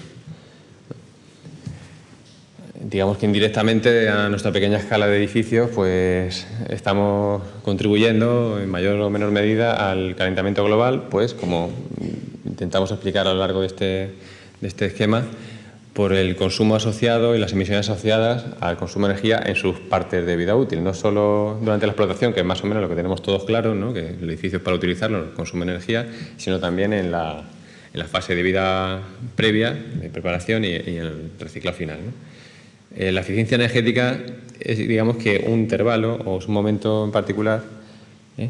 de consumo de una materia prima, que es la energía, por así decirlo, y durante la fase de vida útil.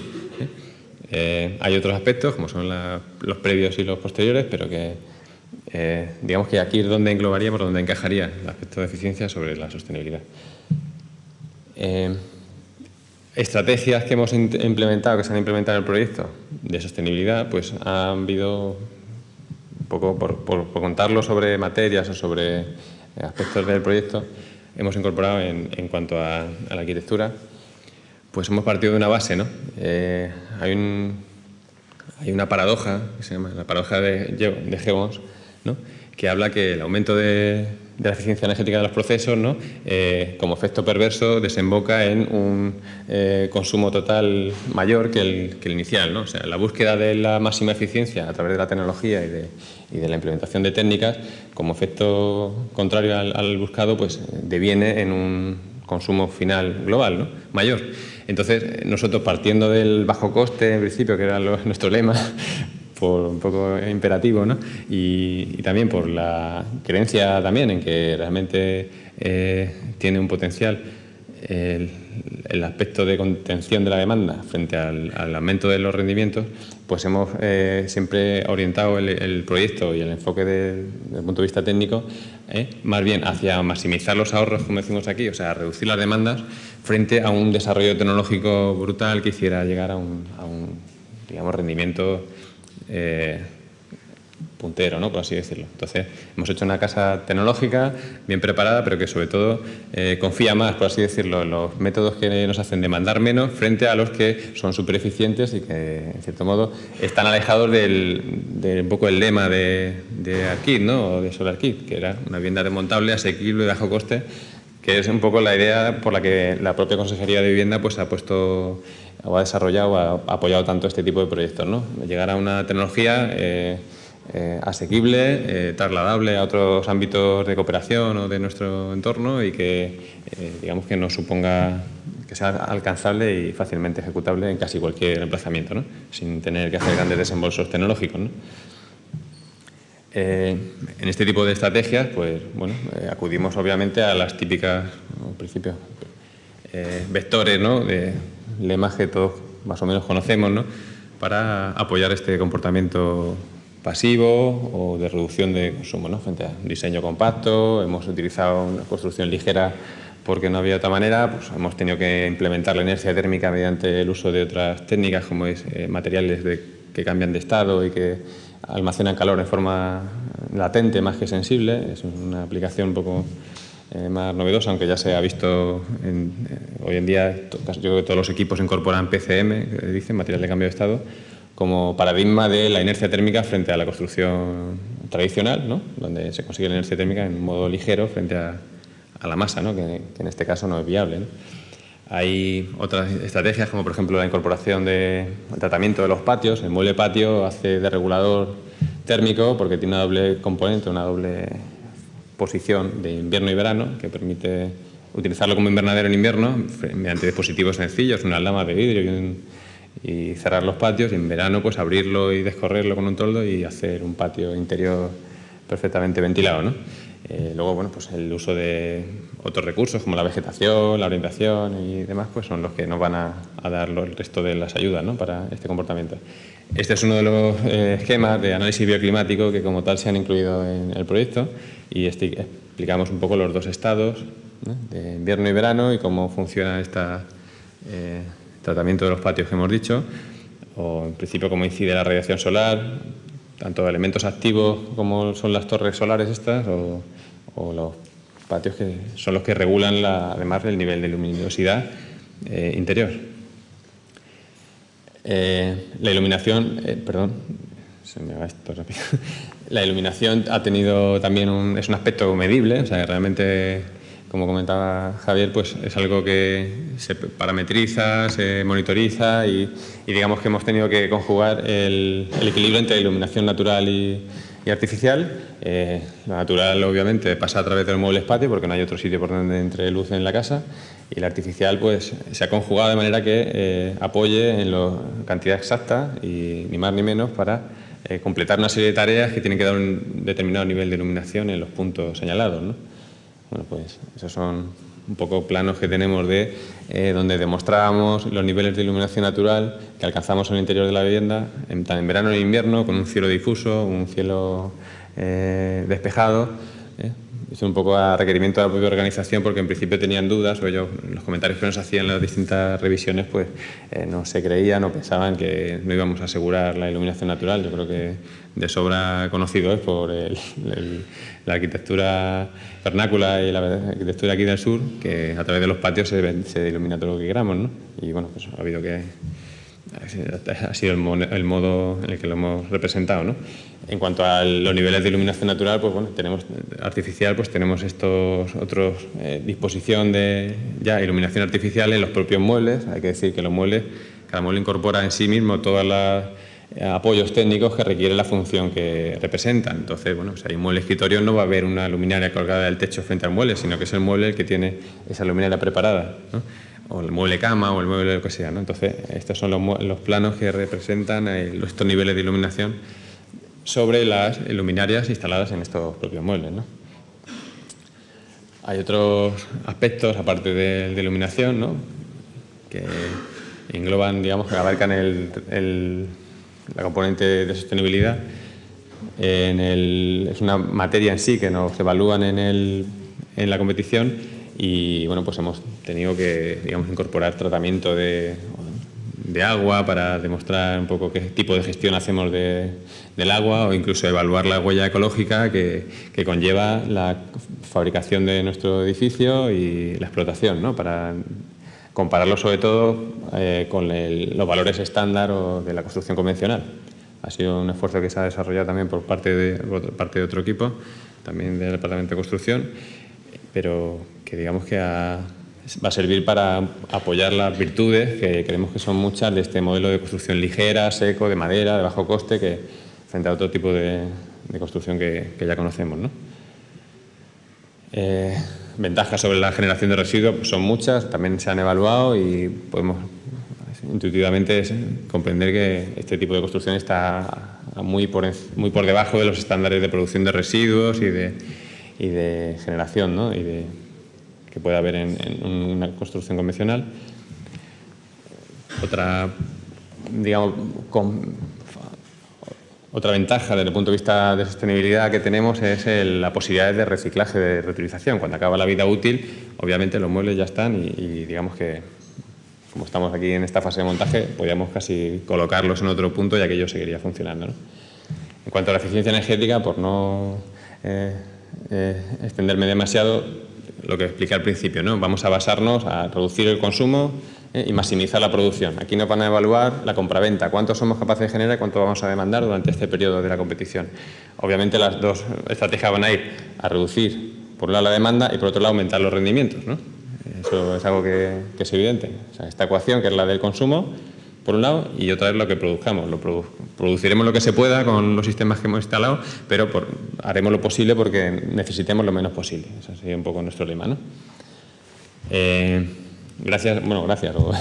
A lo largo de estos casi dos años de fases de proyectos, entregas y demás, pues hemos ido eh, incorporando análisis energéticos, digamos, como estimaciones o predicciones de cuánto consumiríamos nuestro edificio en una situación determinada a lo largo de todo un año. Bueno, pues en esta gráfica vemos como eh, de las distintas entregas, eh, que la primera fue ya en enero del 2009, hemos llegado, que fue esta gráfica azul, esta línea azul, representa la demanda de, energía de acondicionamiento térmico a lo largo del año.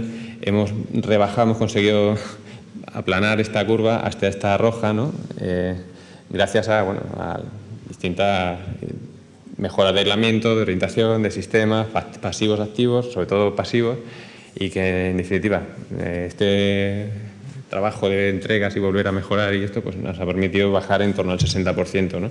Es algo que casi que sorprende desde un punto de partida, que puede ser bueno, pero ahí está. Y en cuanto al consumo, que es otra parte importante, decir que hemos partido también, hemos partido de una situación donde casi igualábamos el consumo y la producción, ¿eh? viendo estos dos gráficos de sectores, y actualmente, si todo va como tiene que ir, ¿eh? tenemos la predicción de que consumiremos en torno a la tercera parte de lo que producimos. O sea, que nuestra casa tendría como para otras dos más, ¿no? O sea, quiero decir que estamos en un 25% de, de consumo frente a la producción total del año. ¿Cómo hemos controlado esta demanda? Pues a través de la envolvente térmica, por un lado, eh, optimizando la composición de las capas del envolvente y los espesores de aislamiento, hemos metido todo lo que se ha podido, de, aislamiento hasta, como veis aquí, intercalándolo en el tramer, ¿no? el tramer del, falso del suelo técnico, se ideó un sistema de que entre el hueco del tramer se construyeron, se encargaron unas piezas de poliestireno expandido, de PS, de ese justo tamaño y han encajado y se han quedado ahí estupendamente. Aparte luego han servido para todos los corchos, pero haya quedado, ¿no? Y por otro lado, eh, estamos implementando todavía, el, si viene el avión y llega a su momento, porque viene de muy lejos el material este de cambio de estado, para incorporarlo en determinados elementos constructivos y contribuir a la mejora de la energía térmica. Estas digamos, estrategias pasivas pues, se sintetizan en estos cuatro modos de funcionamiento, noche y día, invierno y verano, donde se conjugan, por un lado, eh, la acción del sol con los con la ventilación, ¿no? la iluminación y la ventilación, y cómo a través de estos elementos tan singulares, como son las torres de viento reconvertidas en, chimeneas de extracción, ¿vale? pues digamos que eh, en coordinación con el soporte del suelo plenum, ¿no? el suelo que es un suelo técnico, funciona como plenum de impulsión, y el plenum de extracción, que es el suelo, eh, el techo técnico, pues permite digamos, regular, en cierto modo, eh, si, que, si acumulamos energía, si ventilamos, si la disipamos y el modo en que admitimos el aire al interior del edificio. Gracias a este control de los, del modo en que introducimos la ventilación en la vivienda pues, y cómo lo conjugamos con el suelo y con el techo, creemos que seremos capaces de eh, optimizar los modos de intercambio con el, medio ambiente. ¿no? Otras estrategias activas ¿eh? que digamos, pasan por controlar la iluminación con estos sistemas de control de iluminación que se regulan se compaginan con la iluminación natural y como estrategia activa, como comentaba, están las chimeneas solares que sustituyen a un sistema convencional mecánico de ventilación. Hay que decir que esta vivienda, aunque parezca muy experimental y muy así artificiosa, cumple escrupulosamente, y habría que decir además con mucho margen de, holgura, en las exigencias del código técnico de la edificación.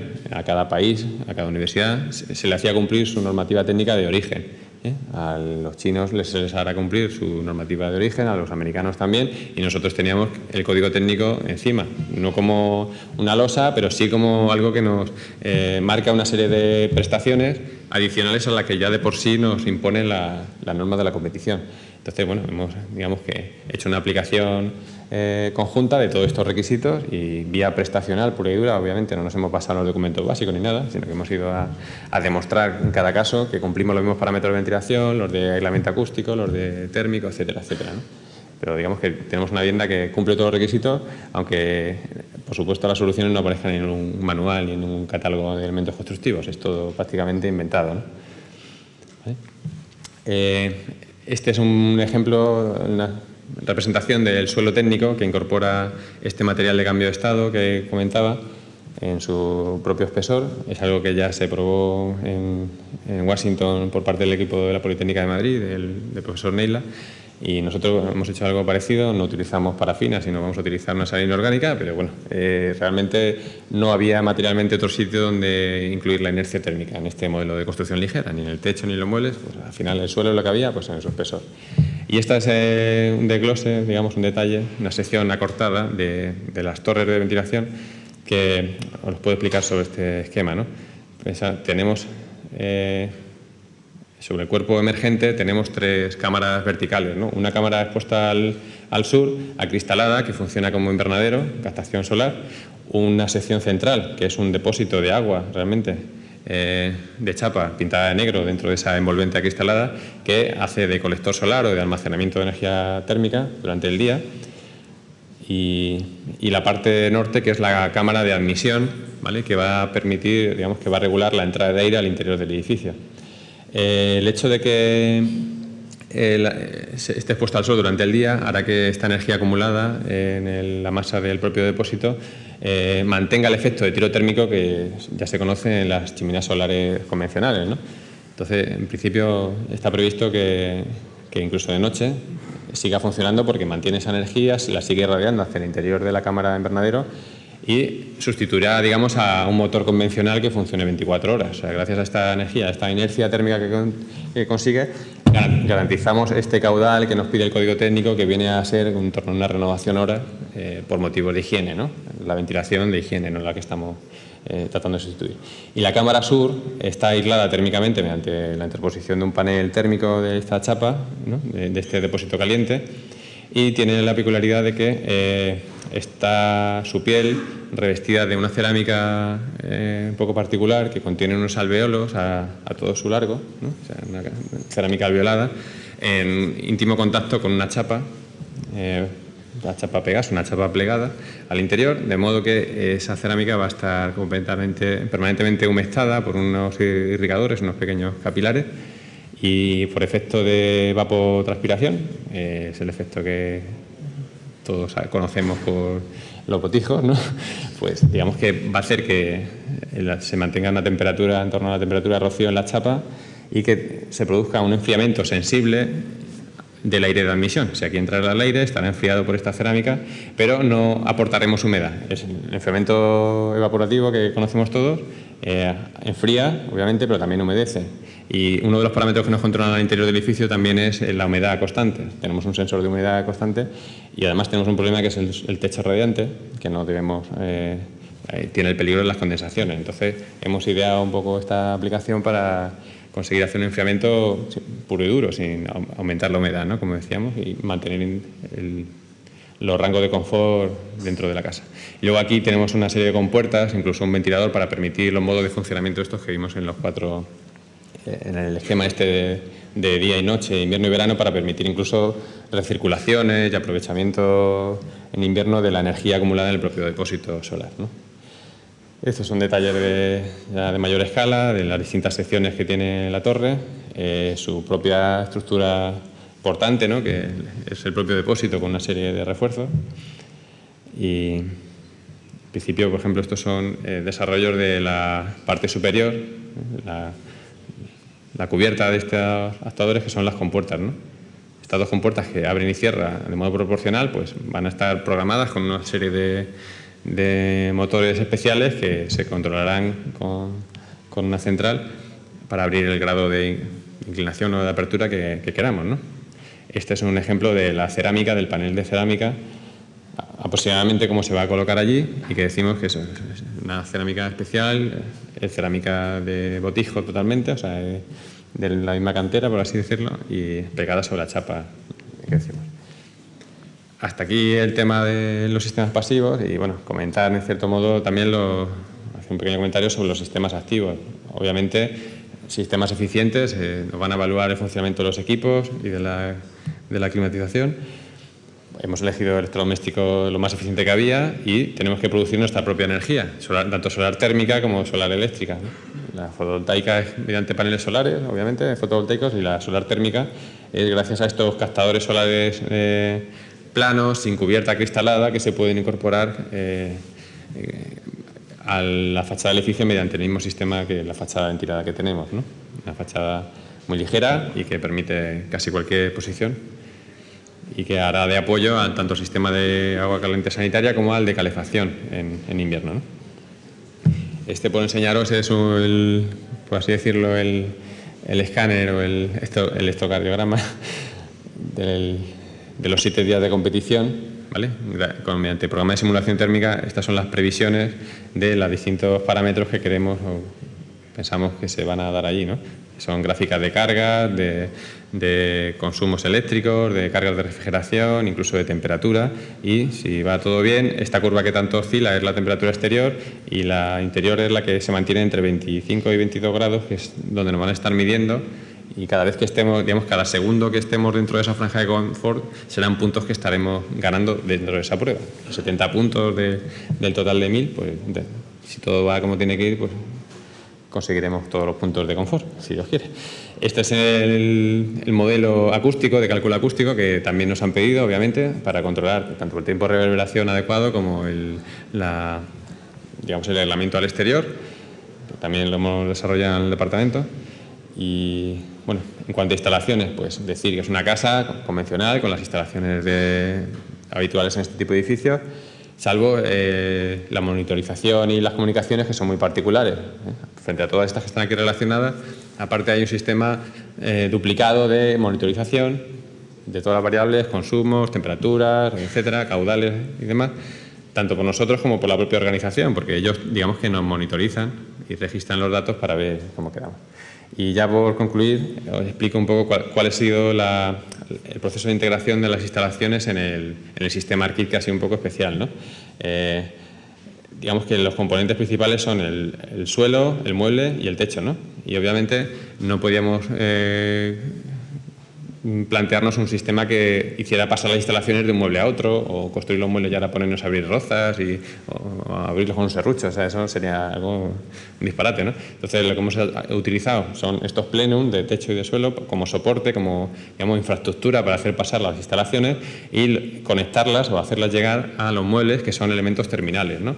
Es como un equivalente a, a la urbanización, ¿no? a un, una ciudad donde las redes y los suministros van por la calle y acometen a los edificios, pues aquí los edificios son los propios muebles y el suelo y el techo hacen de, esta trama urbana que eh, hace llegar a, a, las, distintas funciones.